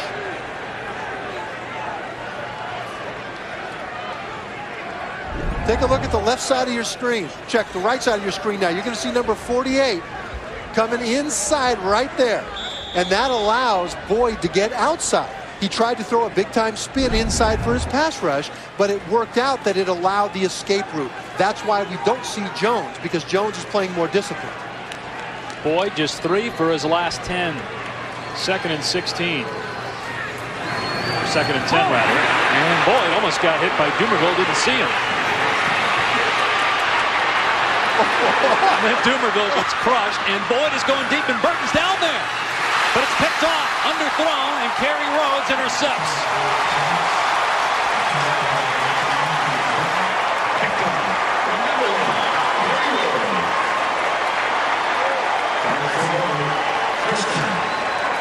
Now this becomes a recess play after the pressure. You see the pressure there? Watch your quarterback spin out that way.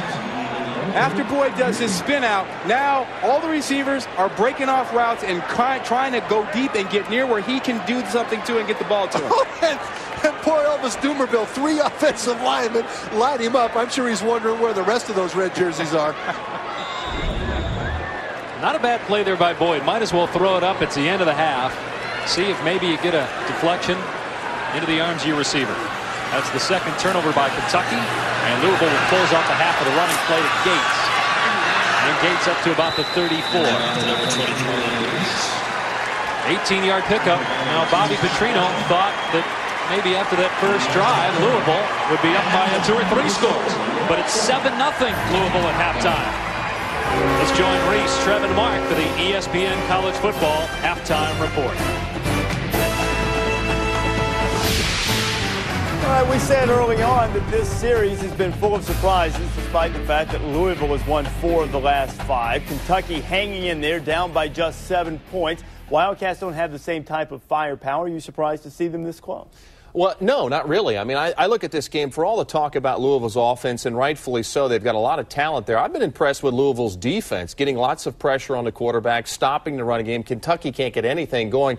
And then on the other side of the ball, Louisville reestablished the line of scrimmage and get the running game going, take some pressure off those young quarterbacks, Mark. I look at the Kentucky defense. Mike Archer's done a great job with this defense. And you look at the SEC this season, I think their defense is always going to keep them in football games. As long as the offense does not turn the ball over, they've got two turnovers in the first half. They put the defense in bad position, but the defense has only given up seven points for Kentucky. So we've still got a one touchdown game on to have a great second half ahead, and this is just the first half of a doubleheader on ESPN. Tennessee and UNLV later tonight. We'll talk about.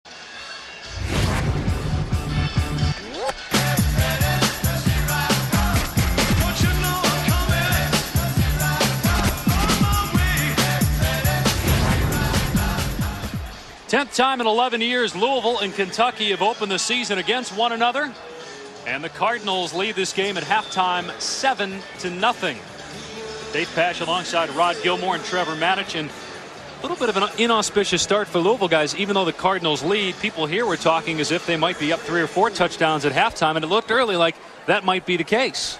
Louisville's really kind of struggled on offense. Penalties have hurt them. I think in the second half, the quarterback situation, they've got to deal with that a little bit. Brohm has been great. LeFors has it. Only five passes thrown in the first half. I think they have to get him going. And if they do that and they feed their studs, they get the ball to Russell and then get it to Bush, they'll get something going in the second half. They tried to do that in the first half, though. And I give so much credit to Kentucky's defense because they expected it and they stopped it. Why does Louisville only have seven points? Two reasons. One, opening drive of the game, 79 yards. Fourth and goal on the one. Kentucky stopped them for no points. Second reason, Louisville is only two of seven for third downs. Kentucky's defense is getting them off the field, and they're not doing it because Louisville is messing up. They're doing it because they're stopping them. You see the penalties there. They've hurt themselves, Louisville, six of them for 70 yards. That's our Rust-Oleum Epoxy Shield first half stats. 182. First half uh, total yards for Louisville, just 87 for Kentucky. But again, 7 0 is the score. Cardinals in front. And Kentucky will start with the football. Louisville to kick off. Rob Zerilli from the 35. Keenan Burton at the 4. And Burton threw a hole. The kicker to beat. And he makes the play. Todd Flannery, the kicker, keeps Keenan Burton from scoring a touchdown. Still a 44-yard return. Well, Burton gets a lane to the left side. You'll see it from his angle. That's the, the, the, lane he sees. He gets the blocking inside and then makes a nice move outside. And special teams a big plus for Kentucky this year. Last year with a blocked punt, a drop snap, special teams killed them. To open up the second half with this kind of a play builds on the momentum from the first half that the defense has given them. Best starting field position of the game for Kentucky thanks to that man Keenan Burton from the 47-yard line. Kentucky has not crossed midfield yet. Here's Holt on the end around. Louisville not fooled. Gain of about three on the play. Check in with the fourth member of our crew on the sideline, Dave Ryan. Well, Dave, one of the big question marks, Louisville preseason camp with head coach Bobby Petrino. How much would Brian Brohm, his prized freshman recruit, play quarterback against Stefan LeFors? I asked him at halftime, coach, who will play more in the second half? He said, I don't have that plan quite made yet, so he's keeping it close to the vest. Defensively, very pleased overall. Thought a couple of penalties not the best mental decisions some of his players could make. We'll talk about Rich Brooks, Dave, after this play. We'll see if Louisville uh, can keep it going on defense, Dave. Second down and eight. Kentucky's been running ball a little bit better since uh, midway point of the second quarter. But this time, Arliss Beach has nowhere to go. Strung out, Brent Johnson made the tackle. Dave? As for Rich Brooks, the head coach at Kentucky, very pleased with Shane Boyd's play at quarterback in the first half. He wants to see him checking down to the right play a little bit faster, maybe get to the snap faster, not audibling quite as much so the play drags on. It gives Louisville's defense more time to set. Defensively, again, avoiding penalties and digging in. I asked him, who would you rather face, LeFors or Brian Brohm? He said, I really don't care. And Dave Boyd did miss some receivers in the first half that were open, but he's a senior, and I'm sure after talking with the coaching staff. Maybe he'll be able to hit some of those uh, receivers. Go through his progressions and make some plays. The numbers on the two starters in the first half. Play fake. And Boyd just got rid of it, and it's picked off by Rhodes. No white shirts. Touchdown, Louisville. Second interception for Rhodes.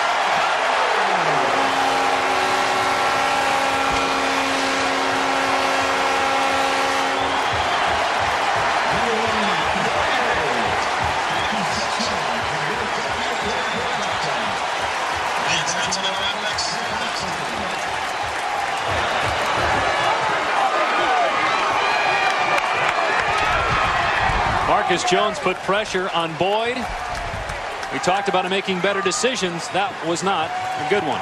That was reminiscent of the start of last year's game. His first pass picked off. Second half, this game, his first pass picked off.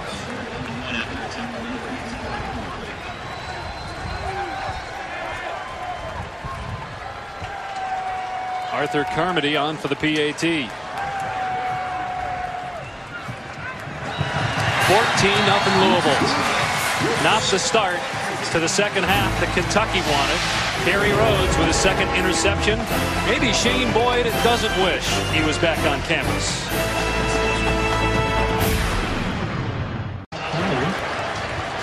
Second team Conference USA performer Marcus Jones, who had 10 sacks last year, puts pressure on Shane Boyd, the Kentucky quarterback.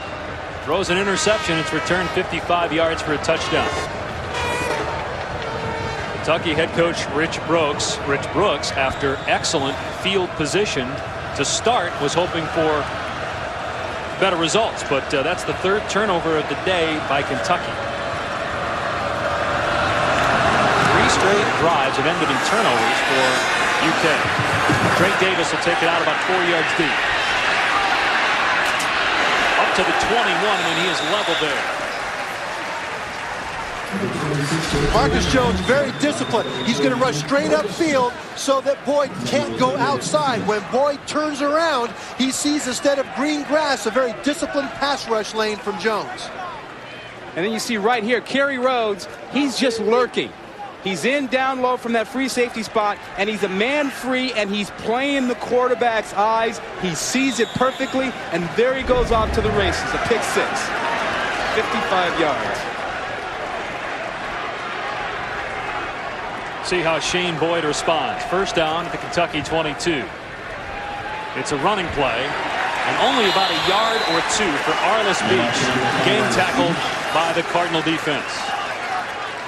That, that, that play by Kerry Rhodes could be devastating for Kentucky unless Boyd gets comfortable again in a hurry. You have to think about the impact on him of throwing a pick six last year and then throwing another one in this ball game. Can he overcome that mentally? But that's why you run it up the middle the first play back to tell the Louisville defense, hey, we're not going to start slinging the ball. You still have to defend the run. They say that Beach's knee went down to the line of scrimmage, so no gain, second and 10. And Boyd changing the play. Boyd with a quick drop. Tried the uh, leaping catch, but could not pull it in. Good coverage by Dominique Dunbar. Put a flag down.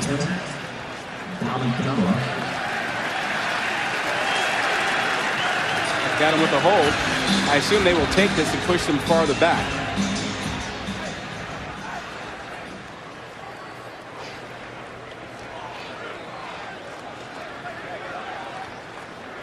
Have a Big Ten crew for this Conference USA slash SEC matchup. Number 62 on the offense, 10 yards. That center Matt McCutcheon, former walk-on making his first start here in this game. He came over from Navy, transferred from Navy. Didn't play there. He had a stinger in his neck. Navy doctors told him he shouldn't play football again. He thought that he could, so he transferred. From the 12-yard line, second and 20.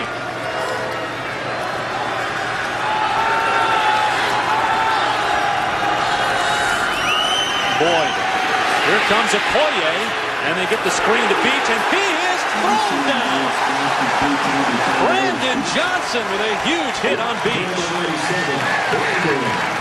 And our Navy man, Matt McCutcheon, the center, number 62, went out and tried to get him. This being his first start, he wasn't used to the speed of the game. And so Brandon Johnson gets there first. Now watch the center. Right in the middle, number 62. He's going to start to go out to the right of your screen, but he can't get there. Brandon Johnson gets there first.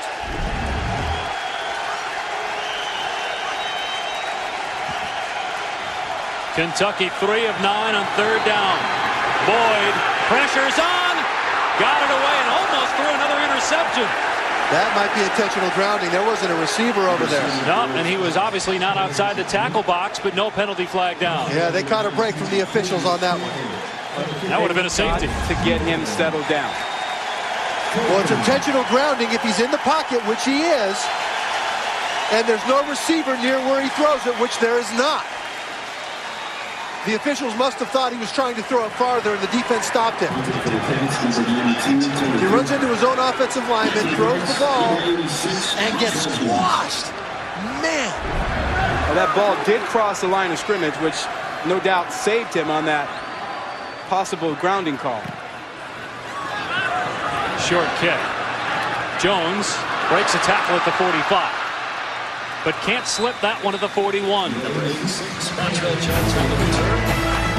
Louisville with excellent field position and a two-touchdown lead early third quarter. ESPN's College Football Sunday, brought to you by Taco Bell, home of the new Big Bell Value Menu, and the next Ford Super Duty. Tougher, stronger, smarter. Those horses go a little bit slower than uh, the ones that people usually see in this town. Great crowd here for college football, though. Sold out Papa John's Cardinal Stadium, and the home team with a two-touchdown lead. An intrastate rivalry that uh, is renewed in the season opener for the 10th time in 11 years. Sweet Pea Burns puts pressure on the quarterback, and LeFors' pass is incomplete. Sweet Pea Burns looked like one of those Kentucky Kentucky Derby horses the way he got in there. He shot out of a cannon just about. But his nickname is Sweet Pea. Now, when you're a big, muscles rippling stud defensive end and you relish your nickname of Sweet Pea, you are very secure. Well, uh, who's going to mess with you when you're that big? Well, that's a very good point. Johnny Cash could have sang a boy named Sweet Pea just as easily. At Media Day, he wore a suit with pink shoes. Very secure. Ivory colored suit. and was named best dressed. I don't know who were the judges on that play or on that uh, decision there. As Eric Shelton gets a couple of yards. Let's check in with Dave Ryan. Well, Dave, guys, we talked about Sweet Pea Burns. The coaches on the Kentucky staff say he's a great tone setter in practice. They really rely on Sweet Pea to knock someone backwards to get the whole team going. Mike Archer, the defensive coordinator, was a linebackers coach for the Pittsburgh Steelers for seven years. Tells us a guy named Greg Lloyd played that same role, a spark plug in workouts who motivate everyone around him. On the field, guys, and field level, you can see he's doing that again today for the Kentucky D. Burns, a student of the game, spends a lot of time in the film room, comes in on Sundays to sit down with the coaches before they present the film to the team the next day. Completed pass to Montrell Jones. And it's a first down for Louisville, 11-yard pickup. Well, Dave's right about Sweet Pea, and, and especially what he does in practice for the team. Because young players need to have a bell cow. They need to know what the intensity in practice should be. And he's been injured so much this fall. He's only been back to practice really the last several days that they've missed his leadership in setting the tone for the young players. I've just never seen a big guy wear pink shoes. Come on, Trevor's got some in his closet. I don't know. I haven't seen Mike Golic's. Not much of the carry by Michael Bush. But forward progress to the 25. So a gain of three. And Louisville handing it off a lot. So LeFors is not able to add yet to those seven attempts. I think it's important for LeFors to to consummate this drive or another drive to get on the board. Right now, he's behind Brohm in terms of touchdowns scored by the offense. He hasn't put one in the end zone yet.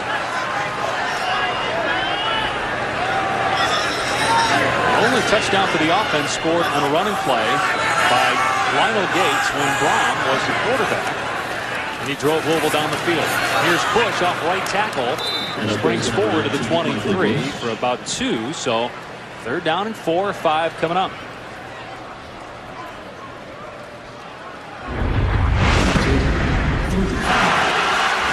There's Brian Baum, Brohm doing his thing. Not a great runner, but he shows you he's not afraid to pull it down. Only had really one mishap in the first half, and that was not seeing the rush come the other way. But look at this throw here. Nice throw, nice understanding who the defenders are and what you can get away with.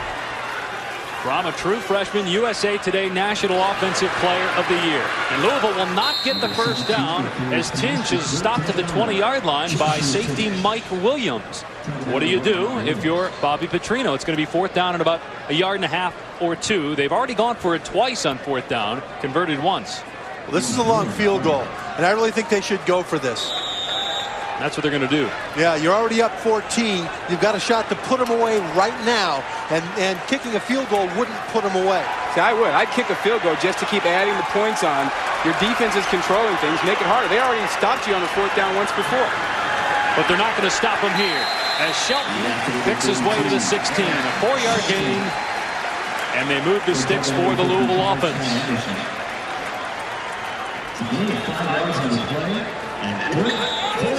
We talk so much, guys, about a potential high-scoring affair. Not a lot of defense, but obviously with uh, eight and a half to go in the third, they've only had two scores and only one by an offense. I'm surprised that Louisville hasn't put more points on the board yet. That That is surprising to me.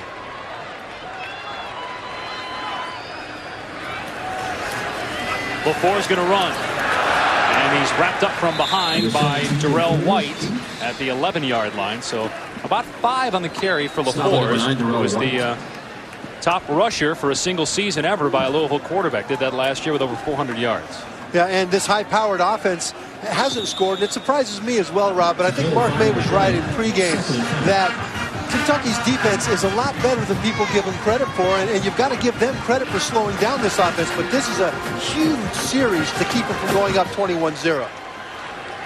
Sweet P. Burns, you just saw there, played a lot, had an injury. They thought he'd get about 15 to 20 snaps. He had that in the first half. And he almost made a play there on Bush. Still Bush is taken down to the 10, short of the first down, so to bring up third down and a few. And you know, Kentucky wanted Michael Bush when he was coming out of high school, Mr. Football. They recruit so many of the same players here. They thought he could have wound up being the quarterback over there at Kentucky. We might even see Bush on defense. Dave Ryan talked about that at the beginning of the game. 114 rushing yards for Louisville.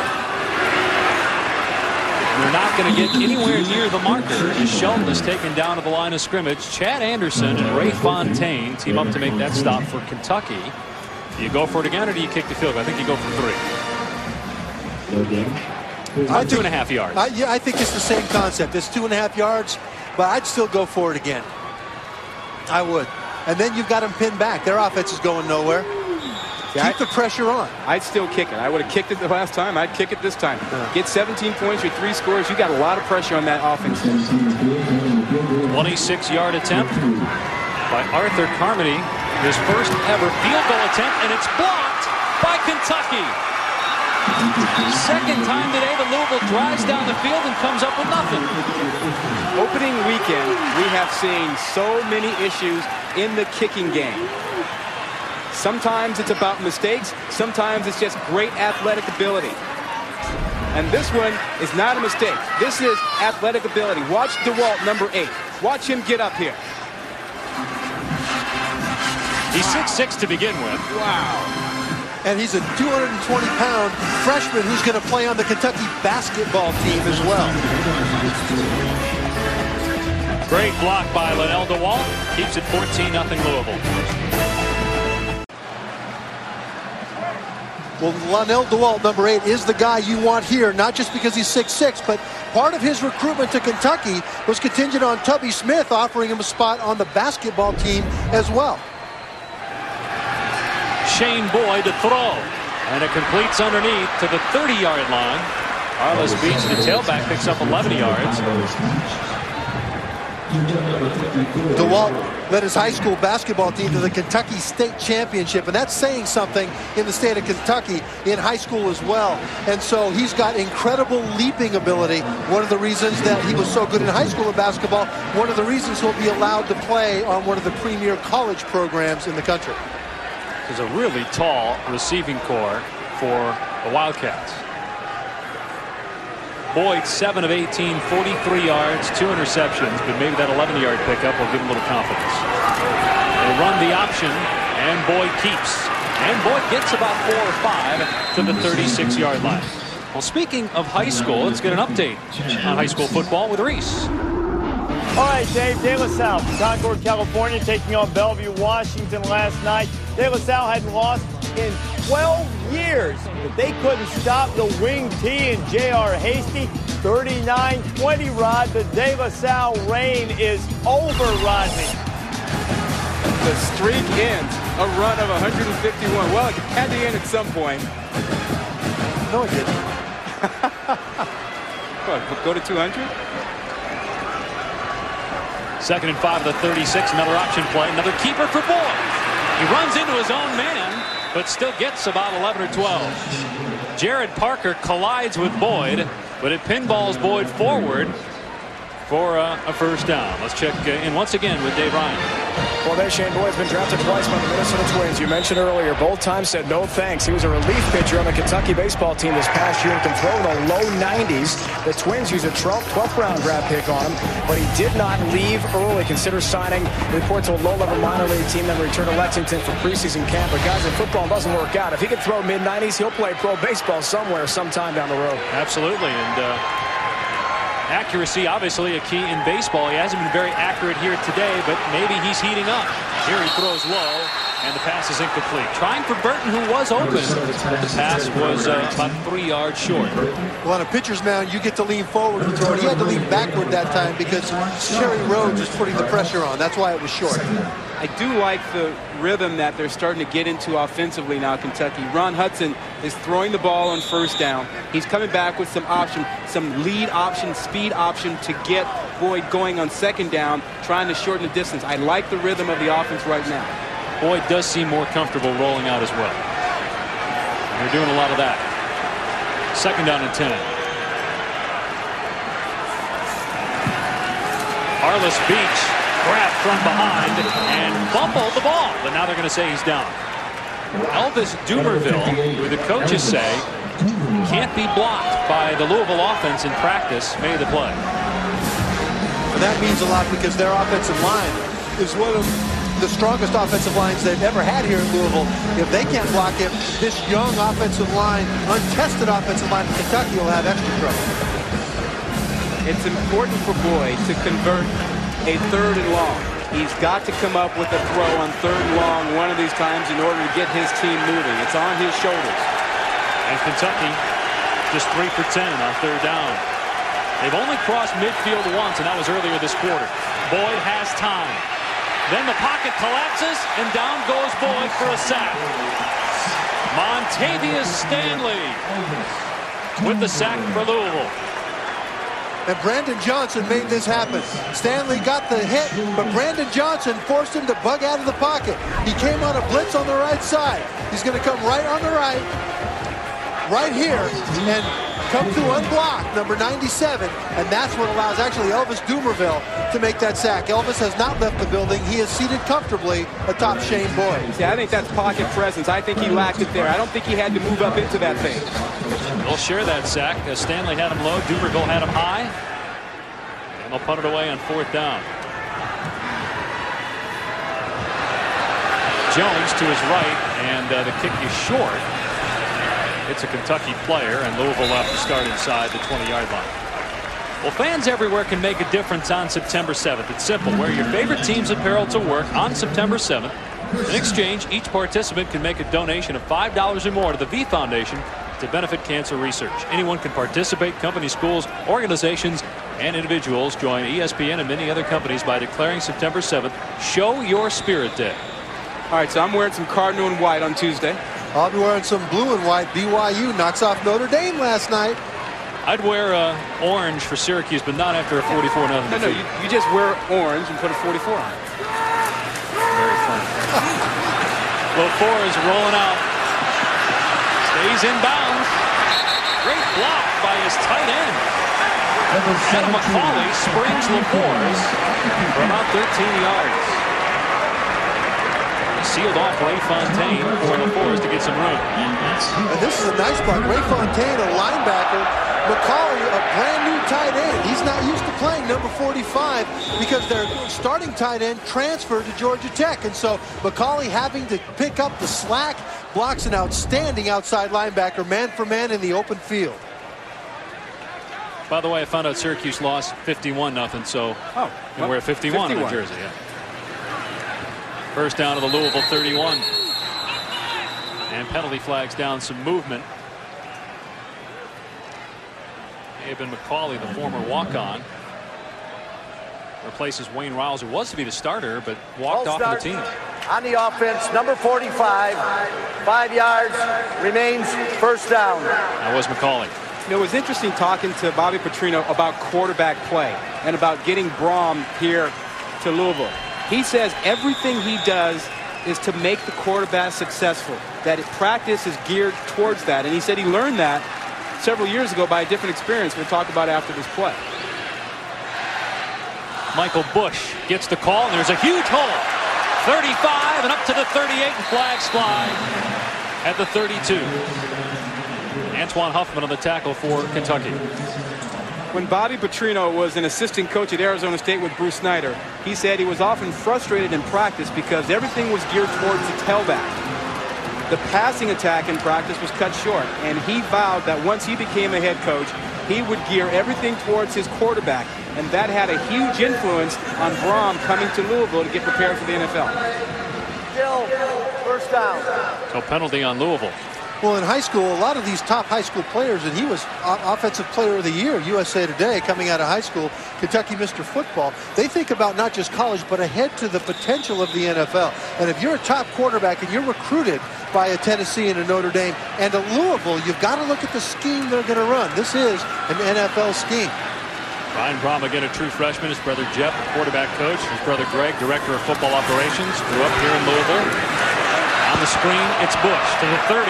Breaks a tackle. Finally cut down inside the 40-yard line by Warren Wilson as he saves a touchdown. 41-yard pickup for Bush. How versatile is Michael Bush? As a junior in high school, he was voted All-State at five positions. At Louisville, this is one of the positions they use him. Out of the backfield, swing pass, He's a big guy, about 250, but he's got really good feet. And they want to get that big size down there on the safeties to make them tackle him because he'll break tackles just like he did there. Later in the game, those little guys get tired. Bush 240 pounds. They fake it to him. And LeFors has his tight end. And McCauley pulls it in at the 20 for a 16-yard gain. The Kentucky coaches told us whenever Bush is in the game, he gets the ball. Not that time. Just watch the way LeFors is moving on the field. He looks a lot more confident. He looks a lot more fluid about what he's doing. I think he's finding his rhythm, the rhythm he didn't have in the first half. If you're Petrino, do you go back with Brohm in the fourth quarter at some point? I would. I'd give him another series, but I'd like to have him throw some more. Oh, LeFors almost throws an interception. Miscommunication between he and Russell, and Huffman should have picked it off. Rod, I wouldn't go back with Brohm in the fourth quarter. I think you've got him his playing time. He's the young guy. He's the backup. Now's the time for your starter, LeFors, to really get solid and really get a rhythm. Even though this play ugh, almost picked off, part of that reason is that he needs time to get used to his defensive or his receivers going against the full speed of defensive backs in the game. When you're down 14 nothing and you need a play, you have to come up with that interception as Bush takes it off right tackle for about 3 and 17. Check in with Dave Ryan a bit this morning after the Louisville Courier Journal newspaper came out and one of the preview articles about several Mr. Footballs in Kentucky you guys mentioned going to Louisville, not Kentucky. Kentucky coach Rich Brooks was quoted as saying Michael Bush isn't a starter, a heck of a player, but not the starter caliber player you'd want there. Michael Bush took exception to it, guys. He plans on talking to Rich Brooks about that quote after the game today. We'll see what happens. All right, Dave, and Bush is uh, not in the game on this play as LeFors rolls out and throws to the end zone. Touchdown! Wide open in the end zone, Broderick Clark.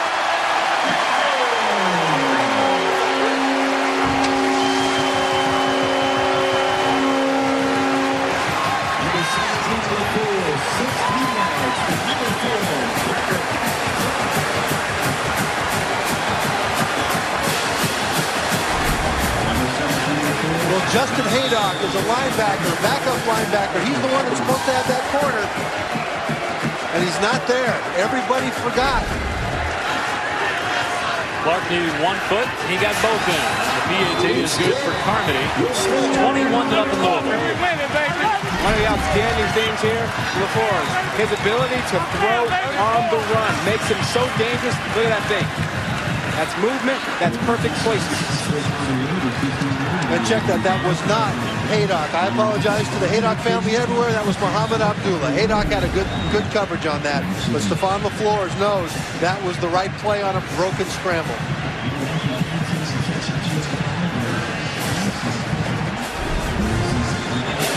You watch the routes down into the end zone, down there. Now watch LeFors when he comes out to the side, and you'll see the receiver staying deep to the end zone.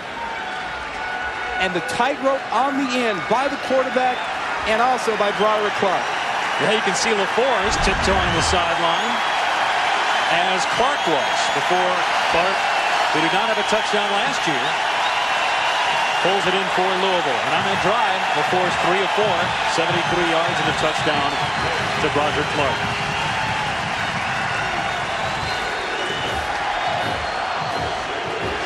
Flannery to kick it away. He saved a touchdown the last time he booted it. Rich Brooks' team down three scores, just under a minute to go in the third.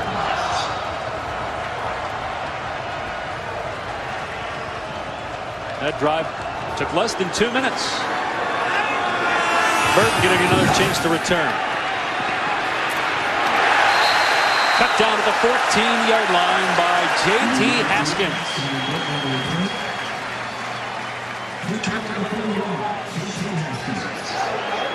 Kentucky will take over. So Clark's touchdown makes it 21 nothing. Once again, our fifth opening kickoff did. And Kentucky is going to have to come up with the scores in a hurry. And their running game isn't much of a threat anyway, but now Louisville knows they have to throw. Remember, in rivalry games, anything goes. Remember last year, the running up the score allegation against Louisville at the end of the ball game, the gratuitous touchdown.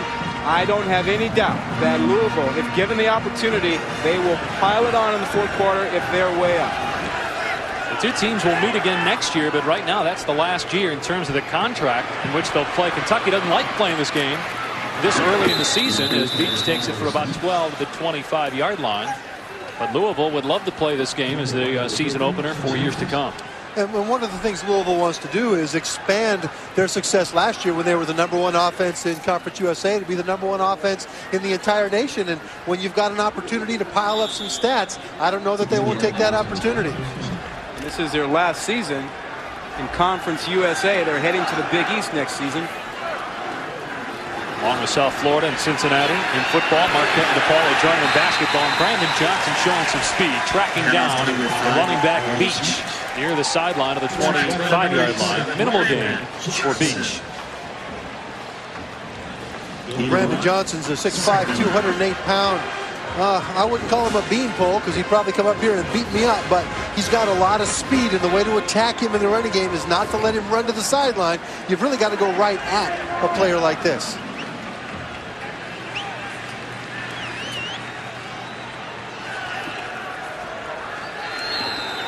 And Kentucky unable to get the playoff, and that will do it for the third quarter. Louisville scores twice in the third. A touchdown pass by Stefan LeFors and an interception return for a touchdown by Kerry Rhodes. Clark's TD makes it 21 to nothing. It's all about family here in Louisville. 21 to nothing. Louisville leads it as we start the fourth quarter. Shane Boyd has struggled in this game. We'll see if he can bring the Cats back from three scores down. To the air on first down. Knocked away. Brandon Johnson makes another play. Time for our ESPN game track with the Cardinals leading 21 0 A good start for Louisville. A good start for Brian Brumman. His college career, the freshman quarterback was outstanding. And he got some help defensively as well because Kerry Rhodes broke open the game in the third quarter with a pick six. Yeah, he did. This broke it open, and this makes it look even better for Louisville than it really is because they have struggled with Kentucky's defense. On third and nine, Boyd with time, hit as he throws, incomplete. Montavious Stanley got pressure on the quarterback, and so did Marcus Jones. Elvis Dumervil was around the quarterback as well. This Louisville defense really struggled last year. They wore down towards the end of the year, gave up a boatload of points, were pushed all over the field, brought in a new defensive coordinator, and all of a sudden they're playing aggressive, they're playing strong, and they look completely different from what they were last year. That new coordinator is Mike Cassity from Illinois on Ron Turner's staff, and he's brought a new attitude here. Cassity took an Illinois team that was last in rushing in the conference to fourth in rushing in his first year in a Big Ten championship. We'll see what he can do with Louisville. They have yet to uh, surrender a point in this game as Montrell Jones fair catches it at the 39. 30-70-yard punt by Anthony Thornton. Intrastate rivalry between Kentucky and Louisville. Only about 60 miles separates these two schools. Louisville led just by seven points at halftime here at Papa John's Cardinal Stadium. The Cardinals have scored twice in the second half. Dave Pasch with Rod Gilmore, Trevor Matich, and Dave Ryan. Stefan LeFors has split time with true freshman quarterback Brian Brohm. But Brohm has not played in the second half, even though he led Louisville on its lone scoring drive of the first half. LeFors to throw. He can take his pick. And he's going for Russell, and it's underthrown. Incomplete, knocked away by Carl Booker. Russell was open, though. Russell pushed Booker in the back. That very well could have been offensive pass interference. I think Louisville got away with one there.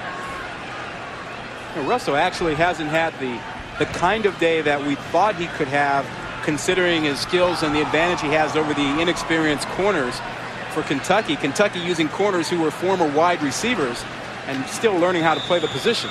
But they've been close to him. There hasn't been as much room to throw in terms of tight coverage that LeFors expected. Kentucky without a starter, Bo Smith, who started seven games last year. He's out for the year with an injury, so they've had to use guys like Carl Booker, who was a wide receiver last year. Bush gets about a yard and a half on the carry, so third down and eight for Louisville.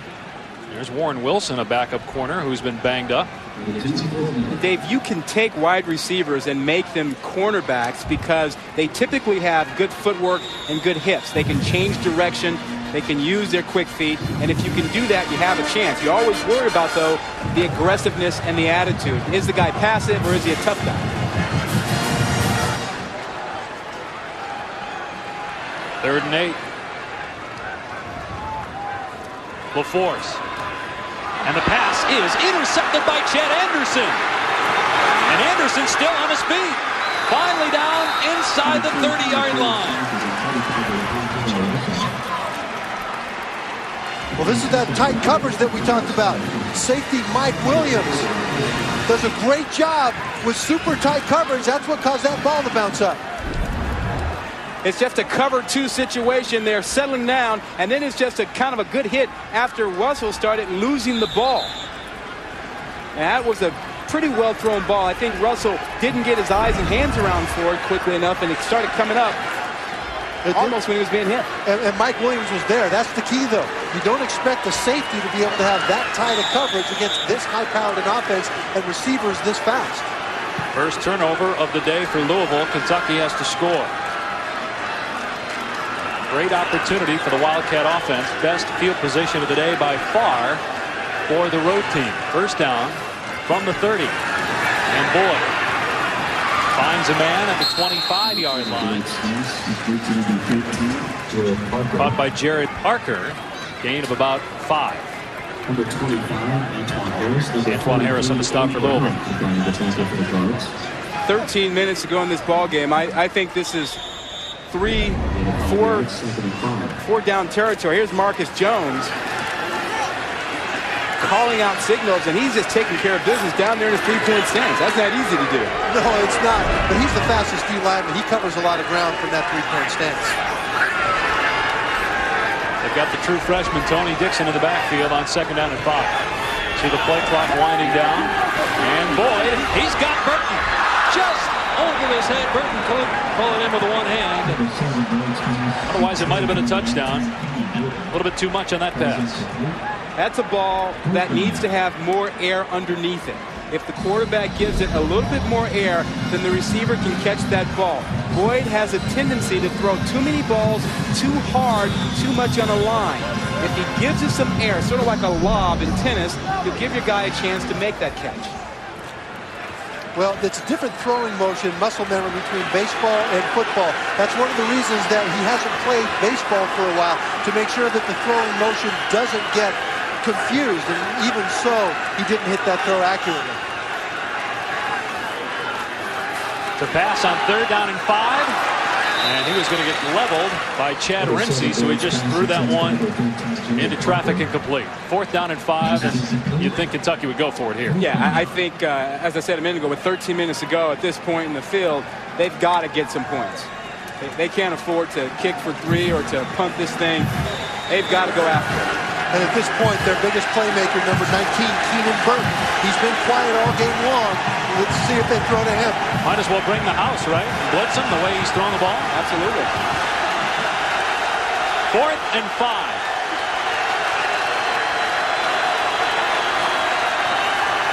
They do blitz, and Boyd takes off. And he falls down past the marker for the first time, but there is a flag down in the backfield holding going to be called against Kentucky. A veteran offensive line will know that if they get beat, they can push their man beyond and their quarterback still has a shot. But if you grab them, then the quarterback doesn't have a shot. It will come back. Number 70 on the offense. 10 yards from the previous spot. Repeat, third down. Trevor, are officials looking more closely for holding in the offensive line on a play like that on fourth down and five? You know, I don't know that they're looking more closely, but they know that it's more likely to happen. You've got right here is Rollins, and his man goes by him. Well, no, you know something? I look at that play. I don't like that call. I think I think he tripped. I don't think Rollins grabbed and threw down. I think this man fell over somebody else's legs. It was Bobby Leffew. Under pressure again is Boyd. Sacked. Abe Brown at the 45-yard line. 10-yard loss, and Louisville takes over. Louisville turns it over, but Kentucky ends up losing yardage. And the Cardinals get it back with a three-touchdown lead.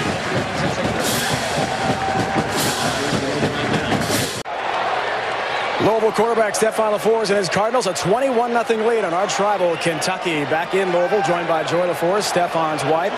How difficult has it been for your husband to handle the ordeal, the competition with Brian Brohm? How's he done with it? Um, I think he's handled himself really well. He's been really mature about it, and um, I think it shows a lot about his character and about how he handles things. Has he demonstrated some leadership, do you think, with a player like Brohm? I know he's impressed with his abilities. Is that the feeling you get from talking to your husband? Oh, yes, definitely. He knows that Brohm's going to be a great quarterback one day, but he knows that this is his senior year and this is his team. This is such a big rivalry. I know you two are from Louisiana, Baton Rouge, but how much does it mean to Stefan to win this game against the arch rival Kentucky? Oh, yeah, definitely. It means a lot to him. He is just, he was so excited about this game, and I think we're going to pull it off. Stefan's parents are deaf, as is his brother. Would you like to sign somebody of those guys back home? Sure, I tell my. Hi, Miss Susan, Mr. Larry, Eric, and Junan. Hello. Thank you. Thank you. Great job, Dave. And normally, uh, Stefan's parents come to the game unless they're on television, so they're watching at home. And Stefan, really a great kid. The coaching staff says uh, he's as good a guy as they've uh, as they've had there. As Bush gets it to the 35-yard line. Abdullah on the tackle. 14-yard pickup. First down for LeFors and company. Now, Kentucky fans, I think have had enough. They're starting to leave. Maybe they want to get home and watch uh, Reese and Trev and Mark because they can get home in time to watch uh, at least maybe the, even the end of this game. Hey, they'll, they'll catch UNLV Tennessee coming up later Yeah. as well. Yeah. A lot of red in this stadium tonight. You guys talked about Bruce Snyder earlier, and he's now at UNLV with uh, John Robinson. Knocked off Wisconsin early last year. We'll see if they can do it to Tennessee. Here's Colby Smith, the fullback, kicking it inside the 20 to the 17-yard line. Actually, that's Gates again on the carry. My mistake. Huffman on the tackle. This is typical Louisville football. The fourth quarter, their big backs start to get huge chunks of yardage because they've worn you down over the four quarters. It's hard to try and tackle 240, 250 pound backs for three hours. And before you can even get to those backs, you've got to get through the offensive line. Will Rabatine, center, blocked LeVar, Lamar Mills, number 45, and did a terrific job because Lamar Mills is an outstanding nose tackle. Rabatine blew open the hole in the middle. Which back do you like the most for Louisville, guys? I'd have to say Bush right now. Movement on the offensive line. Well, college football's first weekend continues on ESPN tonight at 8 Eastern, as we talked about. UNLV and Tennessee coming up 8 Eastern, 5 Pacific. All part of Labor Day weekend presented by Rust-Oleum Epoxy Shield on ESPN. Offside against Sweet Pea Burns of Kentucky, so first down and five for Louisville. Very curious to see how Tennessee bounces back from last season. Yeah, they're, they're a running team, and they got away from that a bit last year. And I think they'll try to get back to what their bread and butter is. High formation, run the football.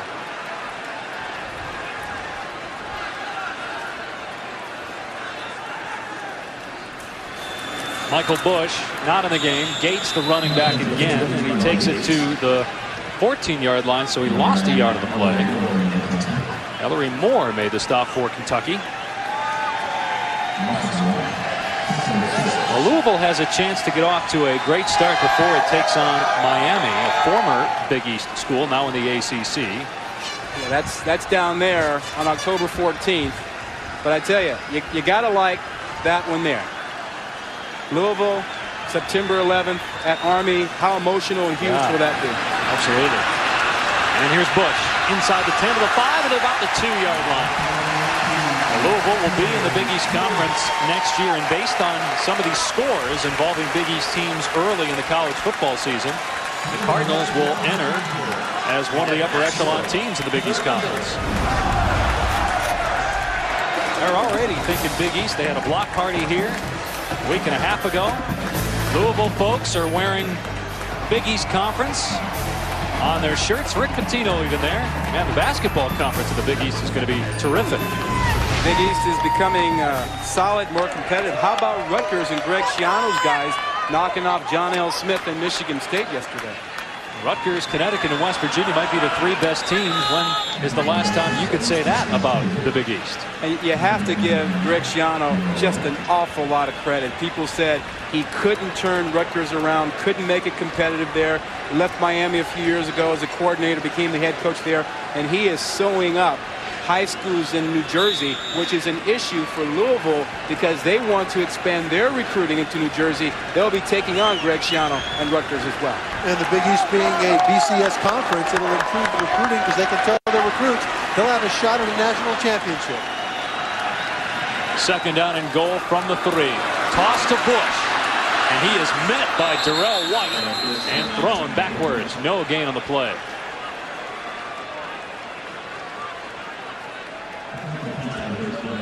Well, you look at who's got the most wins against BCS teams since 2000. It's Louisville tied for first. And the good thing about that is that moving to the Big East and playing a full conference BCS schedule, they will not be awed or intimidated. They've been doing it without really having a legitimate shot at getting to the national championship game like they will when they are in the Big East. Now, they'll have to play well, but the road is open if they do.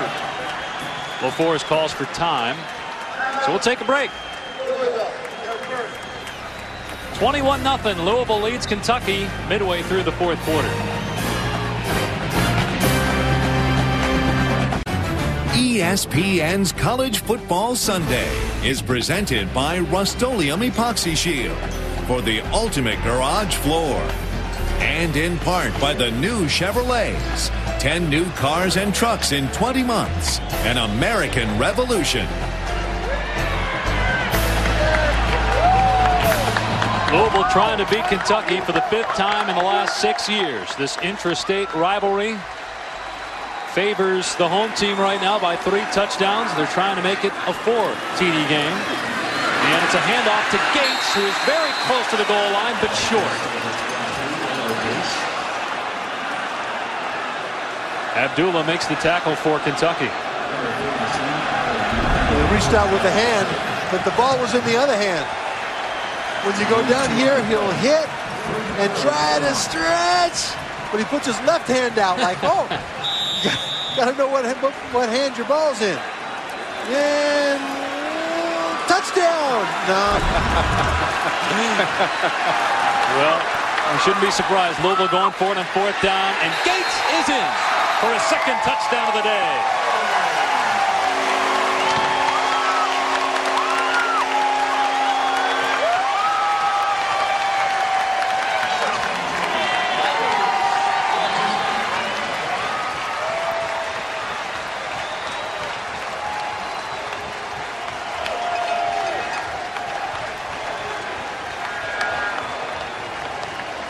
Slams the door shut on Kentucky with 7.24 to go in the fourth quarter as Gates gets into the end zone for the second time in this game. Freshman Carmody on for the extra point. And it's 28 to nothing Louisville. We said earlier that uh, we weren't surprised that Louisville went for it, and here's why. Well, if you go back to last year, at the end of that game, up by nine points, running out the clock, just pounding away, they go for it on a fourth down to keep a drive alive, get inside the five-yard line, less than 10 seconds. No, they don't take a knee. Gates gets another touchdown to finish them off last year. Well, hey, it's Kentucky. And Rich Brooks absolutely living and He's got that same look on the sideline right now, that same purse's lips. And I'll tell you this, he will remember because he will have this sleeping giant Kentucky playing well. They will play this rivalry game. And I'll tell you what, he's comforting his players now, but he'll be celebrating with them down the road at some point. He has a long memory, this man. You know, in, in rivalry games, you get the boot on the neck of the other team, and you don't take it off, do you, Dave? No, no, you don't. And uh, you look at the numbers there on that drive. It's not as if they're coming out and throwing the ball downfield. Kentucky just can't stop the run. Right, and part of it's the feed the studs philosophy. You've got Eric Shelton, Lionel Gates, Michael Bush. You've got to get them touchdowns. You've got to keep these guys happy because you've got three guys that should each be a starter. Well, Gates had 11 touchdowns last year. Shelton had 10. Bush had six. Gates has two in this game. On the return, is freshman John Logan. His uncle was an excellent running back. Kentucky played in the NFL. There are the uh, studs for Louisville at running back. The triple threat of Shelton, Gates, and Bush. And interested to see when we come back here, this uh, group will be back here for Louisville and South Florida. Where Louisville is as a football team because they they will have already played Miami at that point. You remember the Pony Express backfield way back in the day with Eric Dickerson and Craig James. They thought that one backfield wasn't big enough for the two of them. They've got three of them here at Louisville. But a tough day for Kentucky quarterback Shane Boyd. His first start, obviously, of this year. Really his first significant playing time at quarterback since 2001 when he beat out Jared Lorenzen. That one should have been caught. He's 3 of 11 from the floor, or from the uh, through the air, and DeWalt had that one go through his hands incomplete. Well, tonight, two teams hoping for a spot in Major League Baseball's postseason meet. Vizquel and Martinez and the rest of the Indians take on Guerrero and the Angels. 8 Eastern on ESPN2. Coverage begins with Baseball Tonight, driven by GMC on ESPN at 7 Eastern. It's also available in Spanish on ESPN Deportes. Call your cable operator, DirecTV, or the Dish Network today. Had a Freudian slip on the uh, the basketball there, a three for 11 from the floor. Just turning into a pretty good football rivalry, even though Louisville is going to go on to win for the fifth time in six games. Kentucky will be back. I think Rich Brooks, once he gets a full set of scholarships, will be able to turn this thing around. Well, how much, though, uh, pouring on the score is a bit of Bobby Petrino endearing himself to the fans of Louisville again after everything that he's been through with them and the whole Auburn situation. Last year flirted with Auburn or Auburn flirted with him depending on who you talk to even though Tommy Tuberville had a job down there. That was one year after John L. Smith literally accepted the head coaching job at Michigan State at halftime of Louisville's bowl game. I think the players were starting to wonder was it them? But Petrino signed an extension and he uh, told us that he is here to stay at Louisville. Glenn Holt wide open down the field and finally tackled at the 42-yard line. Kerry Rhodes hit him first. Dominic Dunbar cleans him up. 33-yard pickup. Oh, we talked about Boyd throwing the ball too hard. Not this time. He gives it air. He gives his receiver a chance to make a play. Look at that. Had him wide open, floated the ball into him. That's a nice job. And Dave, your point on Petrino is an excellent one. And remember, he's been trying to repair that damage done by the flirtation with Auburn. Another good throw by Boyd. What a tackle by McCune as he takes down Davis. He certainly looks the part. Look at those guns on Robert McCune, 12th tackle of the game. Well, Petrino enjoys coaching people like this. He's going to enjoy coaching Brian Brohm for the next three years. After this year, but he's really done a lot to help endear himself here. He's donated $100,000 of his own money to the Cardinals indoor facility. Joe Paterno's done that. Bobby Knight has done that, but I can't think of any other coaches that really have. And, and he wants to let the community know that he's not going anywhere. He, he wants to stay here. Well, I, and I think Dave's Number point 61, is a well taken. On the one. offense, five yards, first and 15. when you talk about the flirtation and trying to endure himself here and the things that he's done, but also Brian Brohm. That means a lot too because there's the sense that he's made a commitment to Brian Brohm to getting him ready for the NFL, and that means he's going to stick around here for a bit, even if suitors come calling. As his brother here, Paul, who's the offensive coordinator. As Boyd has time to throw, but everybody's covered downfield. Now somebody gets open, and the catch is made by Jared Parker inside the 25. Maybe we're seeing the maturation, even though he is a senior, he hasn't played a whole lot, of quarterback Shane Boyd. Absolutely right on the money. We've seen two throws by him back to back that are better than any throws he's made all game. He's giving his receivers a chance. Now, that might not help them win this ball game, but it will help Kentucky down the line this year. Yes, and you're also seeing the maturation of that young offensive line. That was tremendous one-on-one protection that allowed Boyd to do his thing. Six minute mark in the fourth quarter. Boyd being pressured from behind. Shows his arm strength as he throws back across his body and finds Holt for about an eight yard pickup. They're going to coach him out of that one. He'll stop throwing back across his body. But the play before, this is a beautiful throw. He's been throwing everything so hard, but two times in a row, he takes something off and floats it to the receiver to give him a chance. Boyd again to the air on second and two. That pass a little bit wide of Parker, the intended receiver. So it's third down and two. Jacob Tamme, actually, the intended receiver on that throw. Dave, you mentioned the scholarship problem at Kentucky since they've been on probation since the Hal Mumme era a few years ago. They've lost scholarships the last few years. They've only given out 39 scholarships the last two years. Most schools can give out 25 a year. That's up to 50. They're going back to normal next year, so they've got a chance to build their classes up. 73 scholarships this year for Rich Brooks. See what Boyd does here on third down and two. It's an option. And Boyd is in trouble. Down he goes at the 21. Chad Rimpsey on the tackle.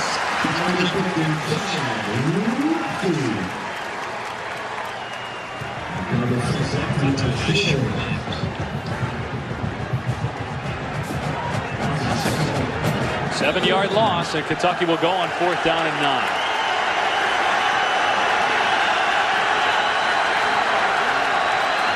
Here comes the blitz. Boyd gets it away. It's caught, but incomplete. Out of play. Burton could not get his foot down. Robert McCune came flying up the middle, and it's an incompletion.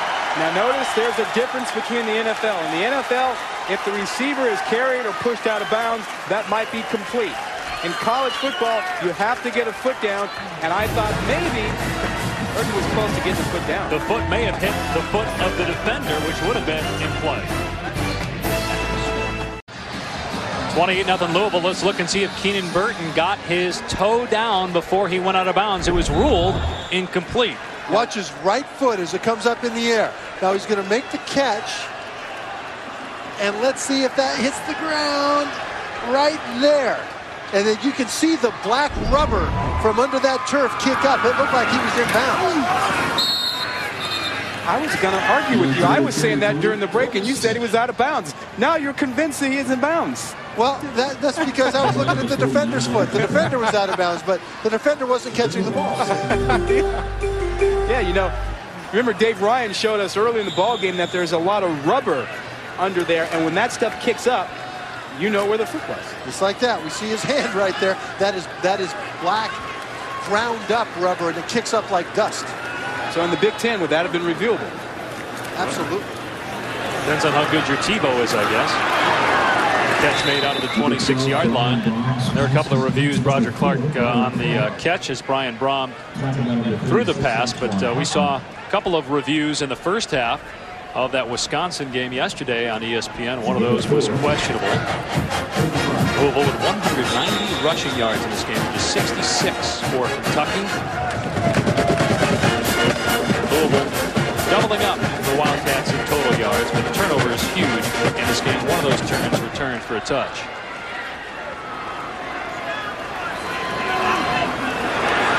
Another running play.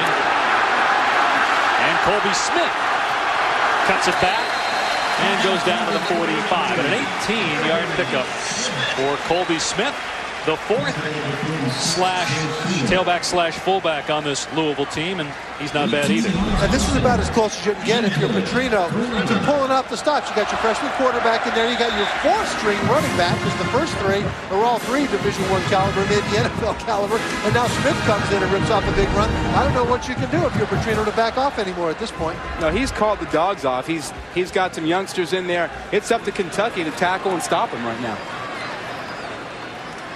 The true freshman Brian Brohm at a quarterback. Led Louisville down for the, I guess what you'd call the game-winning drive in the first half. As Bush takes it off the edge to the 42-yard line of Kentucky. 13-yard pickup for Michael Bush, former Mr. Football in Kentucky. Top safety in high school a couple years ago. Now these are basic running plays that Kentucky ought to be loaded up for and they ought to be trying to handle. This is not a situation again where it looks like Bobby Petrino is trying to run up the score. You can make the argument I think a good one that they ran it up last year but I don't think it's happening right now. No, and you've got all their running backs are talented, but also fresh. When you've got three starting caliber backs that you can rotate through, at this point, they're much fresher than the defense can possibly be. Another running play. It's Gates this time. How about those moves? To the 10. And finally taken on a play inside the eight-yard line. You just have to look at how far Gates went before he even had to make a move. Guys aren't getting off blocks.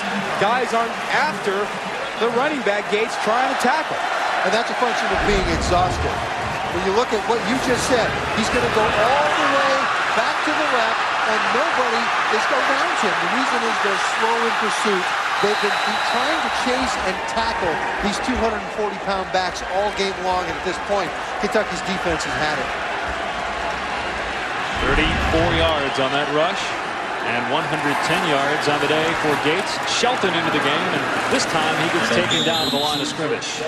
Ellery Moore, starting left defensive end, makes the tackle. I think Petrino just threw him a bone. He just ran it right up the middle on a simple zone play. Said, look, you guys, tackle him, please. I don't want to look bad. Eight and a half yards per carry for Lionel Gates. Remember last year Louisville led the country in yards per rush at 5.7. I think Bobby Petrino, looking back on last year, thought that there were two mistakes he made. One, the flirtation with Auburn, and then the second one, running up the score last year. I don't think you'll see a timeout called down here this time to get a score. If they do it, it's just poor tackling on Kentucky's part. Interested to see how Louisville's defense performs as the competition gets a little bit tougher as Shelton drags a defender inside the three. Remember, last year they lost three of their last five games. Yeah, they did, and they looked bad. But bringing in defensive quarter Mike Cassity from Illinois was huge. Kentucky's offense is struggling now because of certain things we've talked about this game, but even in fall camp in the scrimmages against Louisville's own high-powered offense, Louisville's defense has looked sharp, and they've disrupted Stefan LeFors and this Louisville offense as well. So I think it's not just a function of, of playing Kentucky at this time of year. I think that defense is looking to be possibly very, very good. The fans are calling for a touchdown. They want more. The answer to that? Have a slice of pizza, fans. We've got enough. Hand off, and inside the three-yard line goes Gates, maybe to the two. Do they go on fourth down and goal? Now, the fans, they want the touchdown. Now, I think here Bobby Petrino is not going to do that. After last year, I don't see him going for it this time. I think he is. I think he's going He's tempted, it. though. If he does it, this is bad news. You can he's see tempted. the wheels turning. Oh, he's you tempted. can see the he's wheels turning. Oh, don't do it, Bobby. Don't do it, Bobby. Come on, back off, Bobby. That's three consecutive runs right up the middle, and if they go for it here, they'll probably just give it up the middle again and say, okay, Kentucky, stop us if you can. If they run this outside, nope, they're going to victory formation. Oh, That's yeah. the right Good call. job, Bobby. We're plotting up here. That's the right call. Uh, the fans don't like it. How do you boo? You just won 28 nothing over your intrastate rival. You know, that's almost more embarrassing than not. You know, we could score, but we're going to throw you a bone. It's the right call, but if you're Kentucky, you can't win either way. Classy move by Bobby Petrino. Tom Jurich, the athletic director, embracing the man he hired, Bobby Petrino, a couple of years ago, and the man he almost lost last year and then gave an extension to.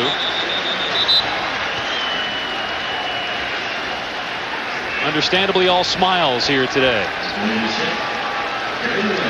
Yeah, that was the right move by Petrino. If you're Kentucky, I don't think you can win. I think if he pulls it off, or if he goes for it, it's about equal on that side of the ball. But from Petrino's standpoint, especially given the history of this rivalry going back to John L. Smith, especially, that was the right move. Is Louisville as good on offense as you guys thought coming into this game? Can they be one of the top offenses in, the, in college football? I think they have the potential. I think they're out of sync right now. And not quite there. It's going to take them a while to work it in.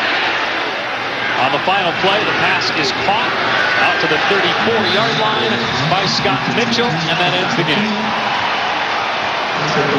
Now, actually, one second left, so they get to run one more play as they stop the clock to move the chains. But this offense, Dave, if it comes together and they surprise Miami, look out. The only big game they have left after that would be Memphis. They could be a surprise team.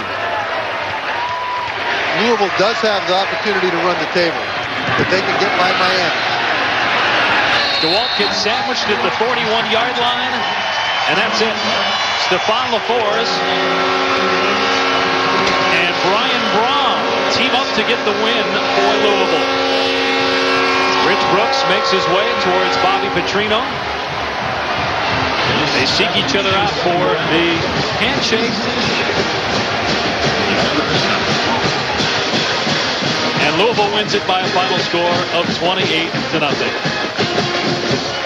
Bobby Petrino and the Louisville Cardinals with a terrific performance on both ends, offense and defense. Coming up next, College Game Day Scoreboard.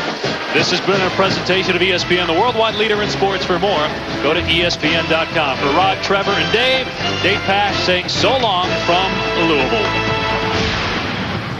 So one of the favorites to take the title in their last year in Conference USA, and Louisville off to a great start with a 28-0 win over Kentucky. Trev Alberts and Mark May joining me. Guys, that was Louisville's eighth win over a team from a BCS conference that leads the nation among teams not in BCS conferences. Of course, Louisville moving to the Big East as a full-fledged member next year, stockpiling a lot of talent on both sides of the ball. Both sides of the ball. That's the key phrase you just said there, Rece. We knew about Louisville and their offense and Brian Brohm that the future is now for them at quarterback. Looked very good offensively.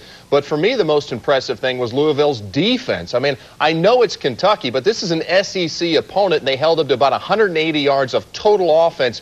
Good quickness up front. They fly to the football. This is a total football team, Mark. Louisville looked pretty good. Yeah, they were very impressive to me, and I think when you look at the big picture in this situation, it's the state of Kentucky that's at stake for recruiting. I think every year each coach tries to stick it to the other coach, and Bobby Petrino has the one up in this situation. And this is a type of team that can go far, that can possibly run the table in Conference USA. But the other thing in this situation that I caution Bobby Petrino, the head coach of Louisville, when you substitute two quarterbacks and play two quarterbacks, it's only going to create a problem down the road. Now, you use Brian Brohm and Stefan LeFors in this game. You have to decide on one quarterback. I understand you have to get the freshman ready to play, but the way that it was done today, I question that. When you start LeFors just for a series, then you bring the backup in and then start alternating, that may create a problem down the road to find out who's got the leadership of this offensive huddle. Got a senior, you have a freshman in there. LeFors has played a lot. Brohm, a highly talented guy. It will be a balancing act for Bobby Petrino for the rest of the season. Those eight wins against BCS conference opponents. Impressive. That's one ahead of Fresno right now. Fresno has an opportunity against Washington. Well, the first thing you noticed when you arrived at Papa John's Cardinal Stadium yesterday for the Cardinals going against the Cats is it was hot. I mean, hot. It was hot. It was a nice, nice day. We uh, arrived at uh, Card March, and marching down there, it was certainly hot. And uh, you know, it's a little bit hotter on the field than it is in the stands. Uh, usually about 12 to 14 degrees hotter down on the surface. Rocco, a sports information director, was just sharing with us that it was right at 100 degrees uh, down there on the surface. It did, but it did. I didn't notice it as much as I thought I would. I thought as the game went on, it kind of cooled off a little bit, and our players were fortunate. The Saturday before in our last scrimmage, it was very hot, and we went with a long scrimmage. So I think our strength and conditioning coaches did a great job for us. And your depth plays right into uh, being able to shuffle players in and out, in, especially in this game. Yeah, it certainly does, and especially at running back. You know, in the Yeah. fourth quarter, into the third quarter, when we start running the ball like we need to, um, we had fresh backs in there. Well, I know the fans are ready. Everybody's ready. Let's take a look at the highlights and hear what the coach has to say as we go through the first half of yesterday's game. And we were talking about you've got the fans out there trying to keep Yeah, those you got the cool. fans and the misters and, and everything you can to try to keep it cool. But uh, great crowd. 42,681 and all packed in there ready to see this young man get, get the Cardinals rolling. This was the third play of the game we had scripted. Uh, got Josh down the numbers. He keeps his feet there. I think he scores. He kind of tripped right as he was catching the ball, but nice play, a nice throw by Stefan. Then we come back in a little shotgun run that we've been working hard at. Lionel Gates gets a nice run down the sideline. Lionel ran the ball real well all night long, all day long, and uh, he certainly is having a good good start of the season. 112 yards, averaged eight per carry. That's pretty darn good. Here a little third down play, and we actually had the guy open in the end zone, didn't get the edge block. Stefan took off and ran, and he thought he got it in, and they didn't, and uh, it's unfortunate. Here on fourth down, made the decision to go for it. Didn't quite get the push up front that we needed, but also our fullback and our tailback have to do a better job there. Did, did that change the complexion a little bit? The guys down after that a little bit? Well, not really down. We just like to have the points on the board. And here's our defense stopping the run. Bobby Leffew uh, back at full health and had a nice game for us. Really did a good job keeping square down the line of scrimmage. Hung a goose egg up there. That's outstanding. They did a nice job. Here we got our uh, true freshman quarterback in, Brian Brohm. Brian had a good game. I thought this is his first play as a Cardinal. Play we call 142 firm hitch, and JR made a nice catch for him, got a couple extra yards after the catch, and good way to start out. You can see there analyzing his throw. He needs to keep his left shoulder down a little bit. He's uh, completed six of seven, and he's going to take them uh, into the end zone. Here we are in the second quarter. Yeah, here's a third down play. Not only made a nice throw, got the ball to Broderick Clark, but he also saw the blitz they had coming, changed the protection, and that's something I think that uh, we've worked hard on getting him to do. Big play here, fourth and three, and you've got the freshman out there, and uh, We do. call his number. We called his number. This is the quarterback run we had designed for this situation. And one thing is being the backup, you don't get to practice these plays all the time. Sometimes you just have to understand. Stefan ran that play in practice, and, and uh, Brian kind of looked at me like I was crazy when I called it. But he did a nice job executing it. And then here he is on a pitch going in for the end zone to Lionel. He actually reverse pivoted the wrong way, but recovered and made the pitch. Okay, that makes it seven to nothing. That's a five-yard touchdown play, and the Cardinals are up seven to zip. And uh, you're in the second quarter, and here we are back on offense again, but having to punt. Yeah, Brent did a really nice job punting. I think he averaged over 50 yards, and his net was even higher than that. And here we get to down the ball back in the, I think it was on the six-yard line. Yeah. So he did a great job punting. I bet you wish you could get your wedges to stop that quick, huh? That yeah, nice- well, my wedge just keeps rolling, bouncing. Another uh, inside zone play that they ran, and what's nice to see there is we had four or five guys right there, caused a fumble, and got the ball back for the offense in a position where we should have went and scored. In this drive, we hurt ourselves with penalties. We get an offensive pass interference here on, on JR where he pushed off a little bit, and then we just backed up and going the wrong way. And that's something we have to address and get better at. I'm really disappointed in the penalties that we did have offensively. Okay, so this one's against you, and uh, as, as you said, uh, you guys were moving, just stopping yourselves in the first half. Yeah, definitely. And then here we get another uh, nice punt by Brent Moody, and uh, actually went through the guy's legs, hit him a little bit. We just weren't there quick enough to get on it. But again, nice job of changing the field position and, and good coverage on the play. He averaged 51 yards on his punts. Outstanding. Here's Shane Boyd back to pass uh, late in the quarter. Elvis chasing him. Elvis had a nice game and did a real good job. And he tries to haul one deep, Kerry goes up and makes a nice interception right at the end of the half. And um, we go into halftime now, up seven to nothing, and uh, have some corrections to do at halftime, offensively and defensively. We just had to keep going and keep playing the way we were. Of course, Rhodes would get two interceptions in this game, but uh, we'll take a look at that second one a little bit later. Seven to nothing. You're in the lead. What'd you say at halftime, Coach? Well, offensively, we had to settle down and, and execute better, make sure we didn't hurt ourselves with penalties, and uh, just understand that uh, we were a little impatient, I think. So we got our patience back. We got back to some of our run play action game and, and started to move the ball well in the third and fourth quarter. When you were coming into this game, did you think you'd uh, be able to run the ball as easy as you could, or did you think there'd be more passing, or what, was it about what you expected as far as run and pass? No, actually, we'd like to throw the ball a little bit more than that. Uh, I think uh, our running backs were running well, and, and we got hit a couple times at quarterback, and Right. I probably got a little conservative with the play calling as the game went on, and, and just wanted to make sure that we finished running the ball real well. Okay. Well, the Cardinals are up seven to nothing at halftime. We're going to take a look at the second half highlights. That's coming up next on the Coach Bobby Petrino Show.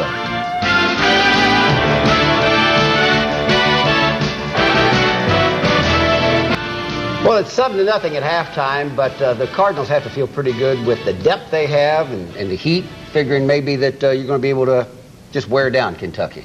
Well, we did feel good about uh, the fact that we were ahead. We didn't feel good about it that we were playing our best football, but uh, I think we came out of the locker room and defense understood what they had to do, and offensively we were ready to get on a roll. What did you have to tweak anything on the offense, Bobby? Well, we made a couple adjustments, how we were blocking a few running plays and a few protections to make sure we got it protected. But to be honest with you, we were just making some little mistakes that uh, we don't normally make. Okay. And uh, a big play always helps to uh, get you rolling the right way, right? Yeah, it certainly does. And uh, fortunately, Kerry Rhodes was up to the task. Let's take a look at the second half highlights again. Louisville is leading the way. It is seven to nothing, and here we go. Kentucky uh, gets the ball to start the third quarter. Yeah, a little kickoff return here. We had a, a lane problem and ni- really nice tackle there by Todd. And, you know, we uh, seem to have to make sure we work our kickoff guys on, on their tackling skills because it's a problem that seemed to carry over from last year. That's Louisville native Keenan Burton with a 44-yard carry, and here comes that big play. And it was a little naked bootleg they ran. Marcus Jones did a real nice job on his responsibility, which was the quarterback in that in that front, and uh, caused an errant throw. Carries where he needed to be and picked it off, and there was nobody there. Just ran right into the end zone, and that was really a momentum change. I thought was a big play in the game. Kerry Rhodes told me uh, time and time again this year the defense is going to be much, much better this year, in particular number one, and he made it happen there. And here you are on defense again. Little screen play, and Brandon Johnson, I thought, ran around and played real fast out there yesterday. Had a lot of tackles, and he is a real smart football player. Knew the screen was coming and made a nice tackle. There were red jerseys all over Shane Boyd yesterday. They were, and that was a really nice job on our pass rush, and had him in the grass. He threw the ball, and I'm not really sure what uh, intentional grounding is after that play.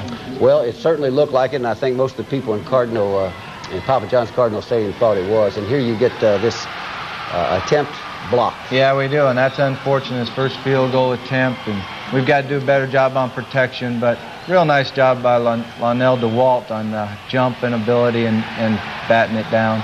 Here we get another sack. Good job on the rush again by Montavious Stanley and Elvis Dumervil, and they were up to the task. Really played well. I thought this was a big play for us. We had just got a penalty.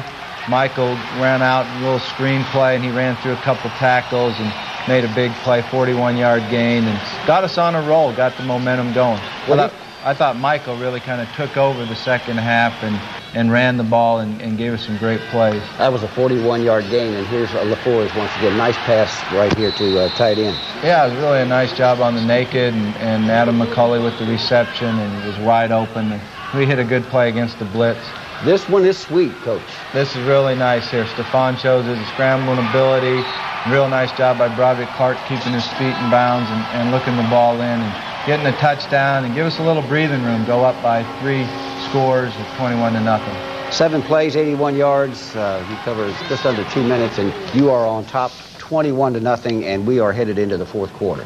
Fourth quarter here, the next drive on a third down, and Stefan made a nice throw, hit JR right in the chest, ball bounced up, and and uh, they got an interception there with Chad Anderson, and uh, just an unfortunate play that the quarterback has to take responsibility for that interception.